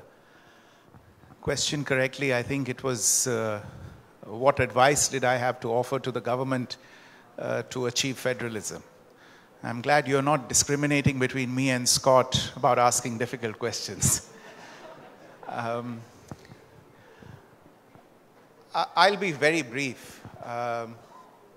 it's not my place to offer uh, advice to the people and government of Myanmar လေမြန်မာနိုင်ငံဆိုရကိုဘယ်လိုမျိုးပေါ့လဲဟို federalism ကိုဟိုရရှိအောင်လုပ်ရမယ်ဆိုတော့ဥစ္စာကိုပေါ့လေကျွန်တော်အနေနဲ့ဒါအကြံဉာဏ်ပေးဖို့အတွက်ကျွန်တော်နေရာမဟုတ်ပါဘူးဒါပဲနိုင်ငံနိုင်ငံနဲ့တိုင်းနိုင်ငံမတူကြဘူးလေတူကြတဲ့အနေအထားပေါ့ဟိုအဓိကတော့ဟိုမြန်မာနိုင်ငံနဲ့ဟိုကိုယ်နိုင်ငံသားတွေအတွက်ပေါ့လေဟို possibilities out there ဖြစ်နိုင်ခြေတွေကအများကြီးရှိတယ် model တွေကအများကြီးရှိတယ်ဒါပေမဲ့ကိုယ်နိုင်ငံနဲ့ပေါ့လို့ but I think menu လေးအနေနဲ့တော့ရှိတော့ရှိမယ်ဗျာဒါပေမဲ့အဓိကပြည်သူတွေနဲ့လူတွေအနေနဲ့ပါနားလည်ဖို့နားလည်ဖို့လို့ဘာတွေလိုအပ်တယ်ပေါ့ရှေ့ကိုသွားဖို့တက်ပေါ့လေဒီမှန်ကန်နဲ့ပေါ့လေကျွန်တော်တို့ကဒီ that is what is important ဖွံ့ဖြိုးတိုးတက်မှုတွေပြီးတော့ prosperity တွေဟိုပြီးတော့ဒီငြိမ်းချမ်းမှုတွေရရှိဖို့ပေါ့လေဒီငြိမ်းမှုတွေရရှိဖို့အတွက်အဲ့တော့ကျွန်တော် advice ကိုပေးရမယ်အဲ့တော့ဟ which The is just that price ကကျွန်တော်အကြမ်း don't ဉာဏ် get distracted by labels. အဲ့တော့ဟို Don't get distracted by ဒစိတ်တွေပေါ့ nomenclature. ဒစိတ်တွေနာမည်တွေ what နဲ့ is ဝေဝါ important မဝေဝါပါနဲ့ is အဓိက the ကတော့ final ဘာလဲဆိုတော့ဒီ final objective ပေါ့နောက်ဆုံး want to objective ပေါ့လေ ensure ပါလေ rights, အဲဒီ want to မှာ ensure ဒီအခွင့်အရေးတွေကို equality in အဲ treatment, ပြီးတယ်ဆိုလို့ရှိရင် dignity, တာလူညီမျှဆက်ဆံမှု justice, တွေကို liberty, ပြီးတော့ဒီ uh, for all justice လို့ people. ခေါ်တရားမျှတမှု Uh, how ပြီး you တော့ get there liberty and what you ဒါ call တွေ your ကို system အမှတ်ခံမှု is ပေါ့ entirely up to အဲ့ဒီဟာတွေ you. May call it အဲ့ဒီဟာတွေကိုဘယ်လို federalism, ဘယ်လိုရောက် may သွားမလဲ call it ပေါ့အဲ့ဒါကို federalism လို့ပဲ Federal ခေါ်ခေါ်မယ် Democratic federal Union or democratic union ပဲခေါ်ပါ Federal democratic federal union ပဲ I ခေါ် would ခေါ် say, ဗျာကျွန်တော်အနေနဲ့ကျွန်တော် uh, ပြော you မယ် should ဆို not လို့ get ရှိရင် distracted by အဲ့တော့ labels. နာမည်တွေ Uh, တစိတ်တွေ instead, work မှာ on ကျွန်တော်တို့ဒါ what လမ်းကြောင်း exactly မမှား is ပါ needed, စေနဲ့ where ပေါ့ does the အဓိက problem ကဘာလဲ lie, ဆို what is ပြ it ဿနာ that က is ဘာလဲ lacking today, အဲအဲ့တော့ what is it ဘာတွေ that လိုအပ် people နေတာလဲလူတွေကဘာတွေလိုအပ်နေတာလဲဒါတွေကိုရရှိအောင်ဘယ်လိုလုပ်မလဲအဲ့တော့ကိုကိုမှရရှိတဲ့ပေါ့လေဟိုအရင်မြစ်တွေကိုမှရရှိတဲ့နီးလန်းနေနဲ့ကျွန်တော်တို့ကစူးစမ်းသွားဖို့ပဲဖြစ်ပါတယ်ဗျအဲ့ဒါကပိုခရကြပါတယ်ဟိုခုနကပြောသွားတဲ့အထက်မှာဟိုကျွန်တော်ဖြေတဲ့အခါမှာအစိုးရပေါ်မှာစာနာပြီးတော့ဖြေစေချင်ပါတယ်ဆိုလို့ကျွန်တော်စာနာပါတယ်အစိုးရပေါ်မှာဆိုတာတဲ့ဒီအသွင်ကူးပြောင်းရေးဖြစ်စဉ်ကြီး နောက်ကျောင်းမပြန်သွားအောင်အသွင်ကူးပြောင်းရေးဖြစ်စဉ်ကြီးအောင်အောင်မြင်မြင်နဲ့ဟလာအညင်သာဆုံးနဲ့ပြည်သူလူထုမနာမနာကျင်ပဲနဲ့အောင်မြင်အောင်အဲ့ဒါကျွန်တော်အစာနာဆုံးကိစ္စဖြစ်ပါတယ်ဒါကျွန်တော်ကျွန်တော်ခုနကလည်းပြောခဲ့ပါတယ်ဟိုအစိုးရဆိုတာတဲ့ကျွန်တော်အနေနဲ့ကတော့အသွင်ကူးပြောင်းရေးဖြစ်စဉ်ကြီးမပြတ်ပြားသွားစေခြင်းနဲ့စိတ်ကျွန်တော်မှအင်မတန်မှရှိပါတယ်။ဒါကြောင့်မို့လဲကျွန်တော်တို့ကပြောတဲ့အခါမှာအချိန်ကလည်းဟိုဖြစ်တယ်ဆိုတော့ဟို ဒီ state constitution တွေရှိပါတယ်ကျွန်တော်နိုင်ငံတွေမှာလည်းအများကြီးရှိပါတယ်ကျွန်တော်နောက်ပိုင်းဒါကိုပညာရေးပိုင်းဆိုင်ရာဆွေးနွေးရမယ်ဆိုရင်ကျွန်တော်အများကြီးဆွေးနွေးလို့ရပါတယ်။အဲ့ဒီကိစ္စကလည်းအခုအချိန်မှာတမတော်ကိုယ်တိုင်ကသဘောတူထားတဲ့ကိစ္စလို့ယူဆပါတယ်။နိုင်ငံဒီပြည်내အခြေခံဥပဒေကိစ္စဟာဒါကအဖြေထွက်ဖို့ဆိုတာကကျွန်တော်တို့ဒီအပေးအယူလုပ်နေရတဲ့ကိစ္စတစ်ခုဖြစ်ပါတယ်ဆိုတာကတိုင်းရင်းသားများကဟလာဒီခွဲထွက်ခွင့်ဆိုတဲ့ကိစ္စကိုလက်ခံဟိုလာဟိုစွန့်လွတ်မယ်ဆိုလို့ရှိရင်ဒီဘက်က ကျွန်တော်ပြည်내အခြေခံဥပဒေများကိုလက်ခံမယ်ဆိုတဲ့ဒါကတော့နိုင်ငံရေးရအပြန်အလှန်ဟိုအပေးယူလုပ်တဲ့သဘောဘက်ကိုပိုရောက်ပါတယ်မူအားဖြင့်တက်မတော်ဘက်ကလည်း state constitution ကိုလက်ခံထားပြီးသားဖြစ်ပါတယ်ဒါဟာကျွန်တော်မြင်တယ်မူအားဖြင့်ရှေ့တစ်ခုတိုးလာတာပါအငင်းပွားစရာအများကြီးရှိပါတယ်အာဒီပြည်내အခြေခံဥပဒေကလည်းမင်းလာပြောမနေ2008ဘောင်ထဲရပဲဖြစ်ရမှာ post drive မျိုးလဲညင်းနိုင်ပါတယ်ဒါပေမဲ့ကျွန်တော်တို့တွေကတေးသေးချာချာလေ့လာပြီးလုပ်မယ်ဆိုရင်လုံနိုင်တဲ့ ဟို boundary အခင်းချင်းတွေရှိရလို့ကျွန်တော်တို့ပြောလို့ရပါတယ်နောက်တစ်ခုကတော့ဒီ democracy federal လား federal democracy လားအဲ့ဒါလည်းအတော်မေးခံရတဲ့မေးခွန်းမှာကျွန်တော်လည်းတော်တော်တော့နှစ်နှစ်ဆက်ဆက်တော့လိုက်ဖတ်တာပဲဒါပေမဲ့တခါမှအဲ့ကိစ္စက academic debate မှာကျွန်တော်တတိမထားမိဘူးနော်ဘာလို့လဲပညာရေးပိုင်းဆိုင်ရာ debate မှာဒီနိုင်ငံမှာတော့ထူးခြားချက်ရအဲ့ဒါကအဲ့ဒါနဲ့တိုင်ပတ်နေတာပဲကျွန်တော်ကျွန်တော်ခဏခဏပြောရတဲ့စကားရှိပါတယ်ဟို ဟိုထားပါတော့လေပြောချင်တာကျွန်တော်တို့ရခုနအတန်မကြီးလေးပြောသွားတယ်ကျွန်တော်တို့တွေကဒီရွှေနှင်းစီဘယ်နာမည်ပေးမှုေးဖို့သာအရေးကြီးတဲ့စကားပမာစာမှာရှိပါတယ်ဘယ်နာမည်ပေးပေးပါအိန္ဒိယအခြေခံဥပဒေမှာ Federal ဆက်စကားလုံးတစ်လုံးမှမပါဘူးလို့လည်းသူပြောသွားပါတယ်နော်အရေးကြီးတာကဘာလဲဆိုတော့အနှစ်သာရအရဘယ်လောက်စုပ်ကိုင်မိလဲဆိုတဲ့ကိစ္စဖြစ်ပါတယ်ကျွန်တော်တို့အနေနဲ့ကတော့ဒီနာမည်တွေ အထူးသဖြင့်ဒီကိစ္စဟာအင်မတန်မှအငင်းပွားပါတယ် Federal Democracy လား Democracy Federal လားဆိုတာကျွန်တော်တို့လည်းတက်နိုင်သမျှအုံနောက်6အောင်စဉ်းစားပါတယ်ဘယ်ဟာဘယ်ဟာကစီလျော်မလဲပေါ့နော်ဒါပေမဲ့ကျွန်တော်တို့မြင်တဲ့လောက်ကတော့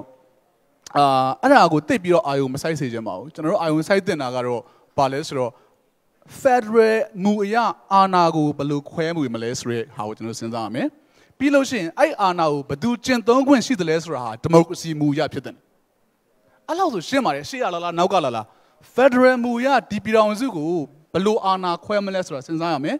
အဲ့အာဏာခွဲဝေမှုပေါ်မူတည်ဘယ်သူအုပ်ချုပ်ခွင့်ရှိတယ်လဲဆိုတာကိုဒီမိုကရေစီနည်းကြဆုံးဖြတ်ရမယ်ကျွန်တော်ထင်တယ်အဲ့ဒါဆိုရင် fair enough ပါဒါဆိုဒီအစိုးရပေါ်မှာလဲစာနာရောက်မယ်လို့ကျွန်တော်ထင်ပါတယ်ကျေးဇူးတင်ပါတယ်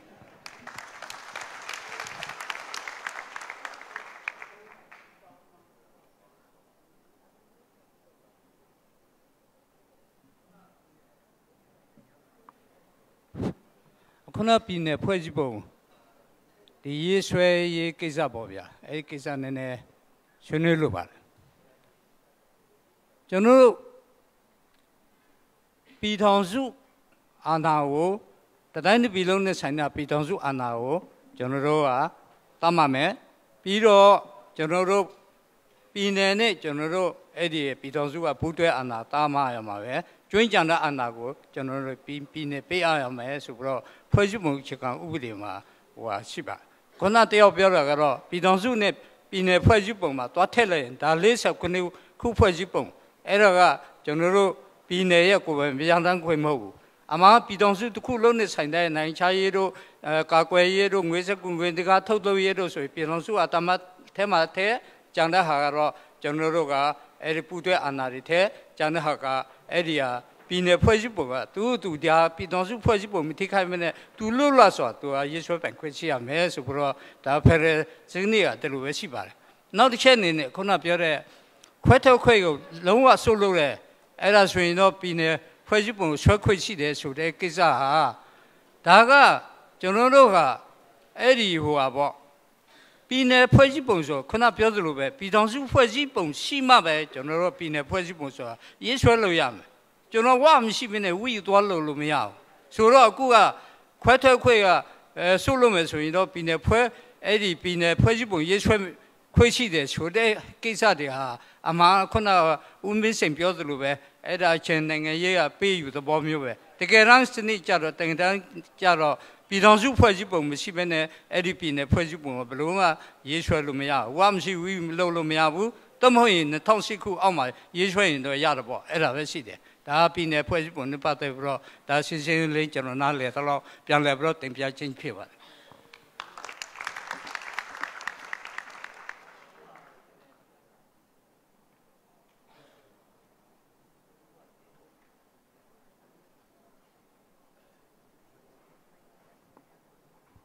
ကိုစိုင်းကြော်ညွန်နေတဲ့ပြောဦးမလားဗျ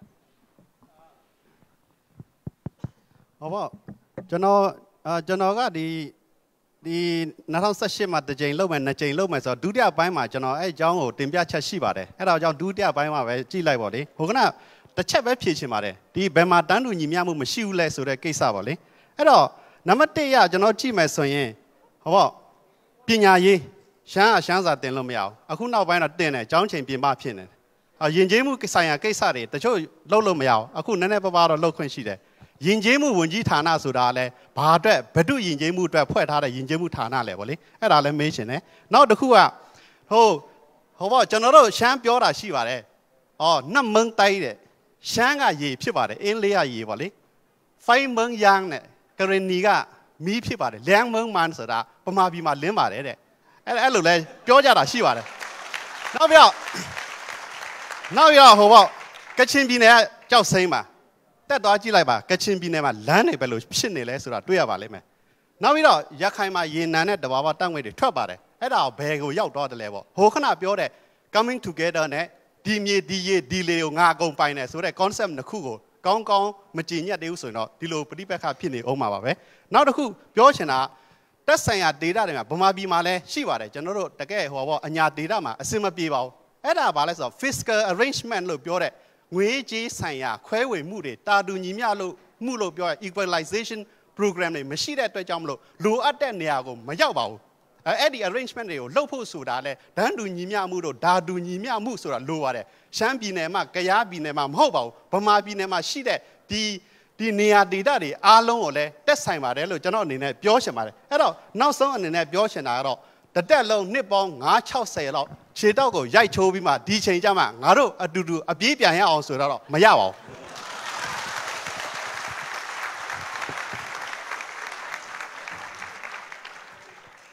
ဆိုတော့ဒီမှာပဲကျွန်တော်တို့ Federal ဒီဒီအကြောင်းဆွေးနွေးတဲ့ဒီ symposium ပထမပိုင်းနားပါမယ်အဲကျွန်တော်တို့ဟိုဘက်မှာနေ့လည်စာစားဖို့အတွက်ပြင်ဆင်ပေးထားပါတယ်အဲ့ဒီမှာစားလို့ရပါတယ်အော်မီဒီယာတွေကိုတခုမေတ္တာရက်ခံချင်တာကတော့အဲဒီ speaker တွေကို interview ချင်တယ်ဆိုရင်ကျွန်တော်တို့အစီအစဉ်အားလုံးပြီးမှပဲ interview စေချင်ပါတယ်ဘာလို့လဲဆိုတော့ကျွန်တော်မိနစ်20ပဲနားမှာဖြစ်တဲ့အတွက်ကြောင့်မလို့သူတို့လည်းအဲခဏဟိုဟာပြင်ဆင်စရာလေးတွေရှိနေလို့ပါဆိုတော့ဒါလေးကို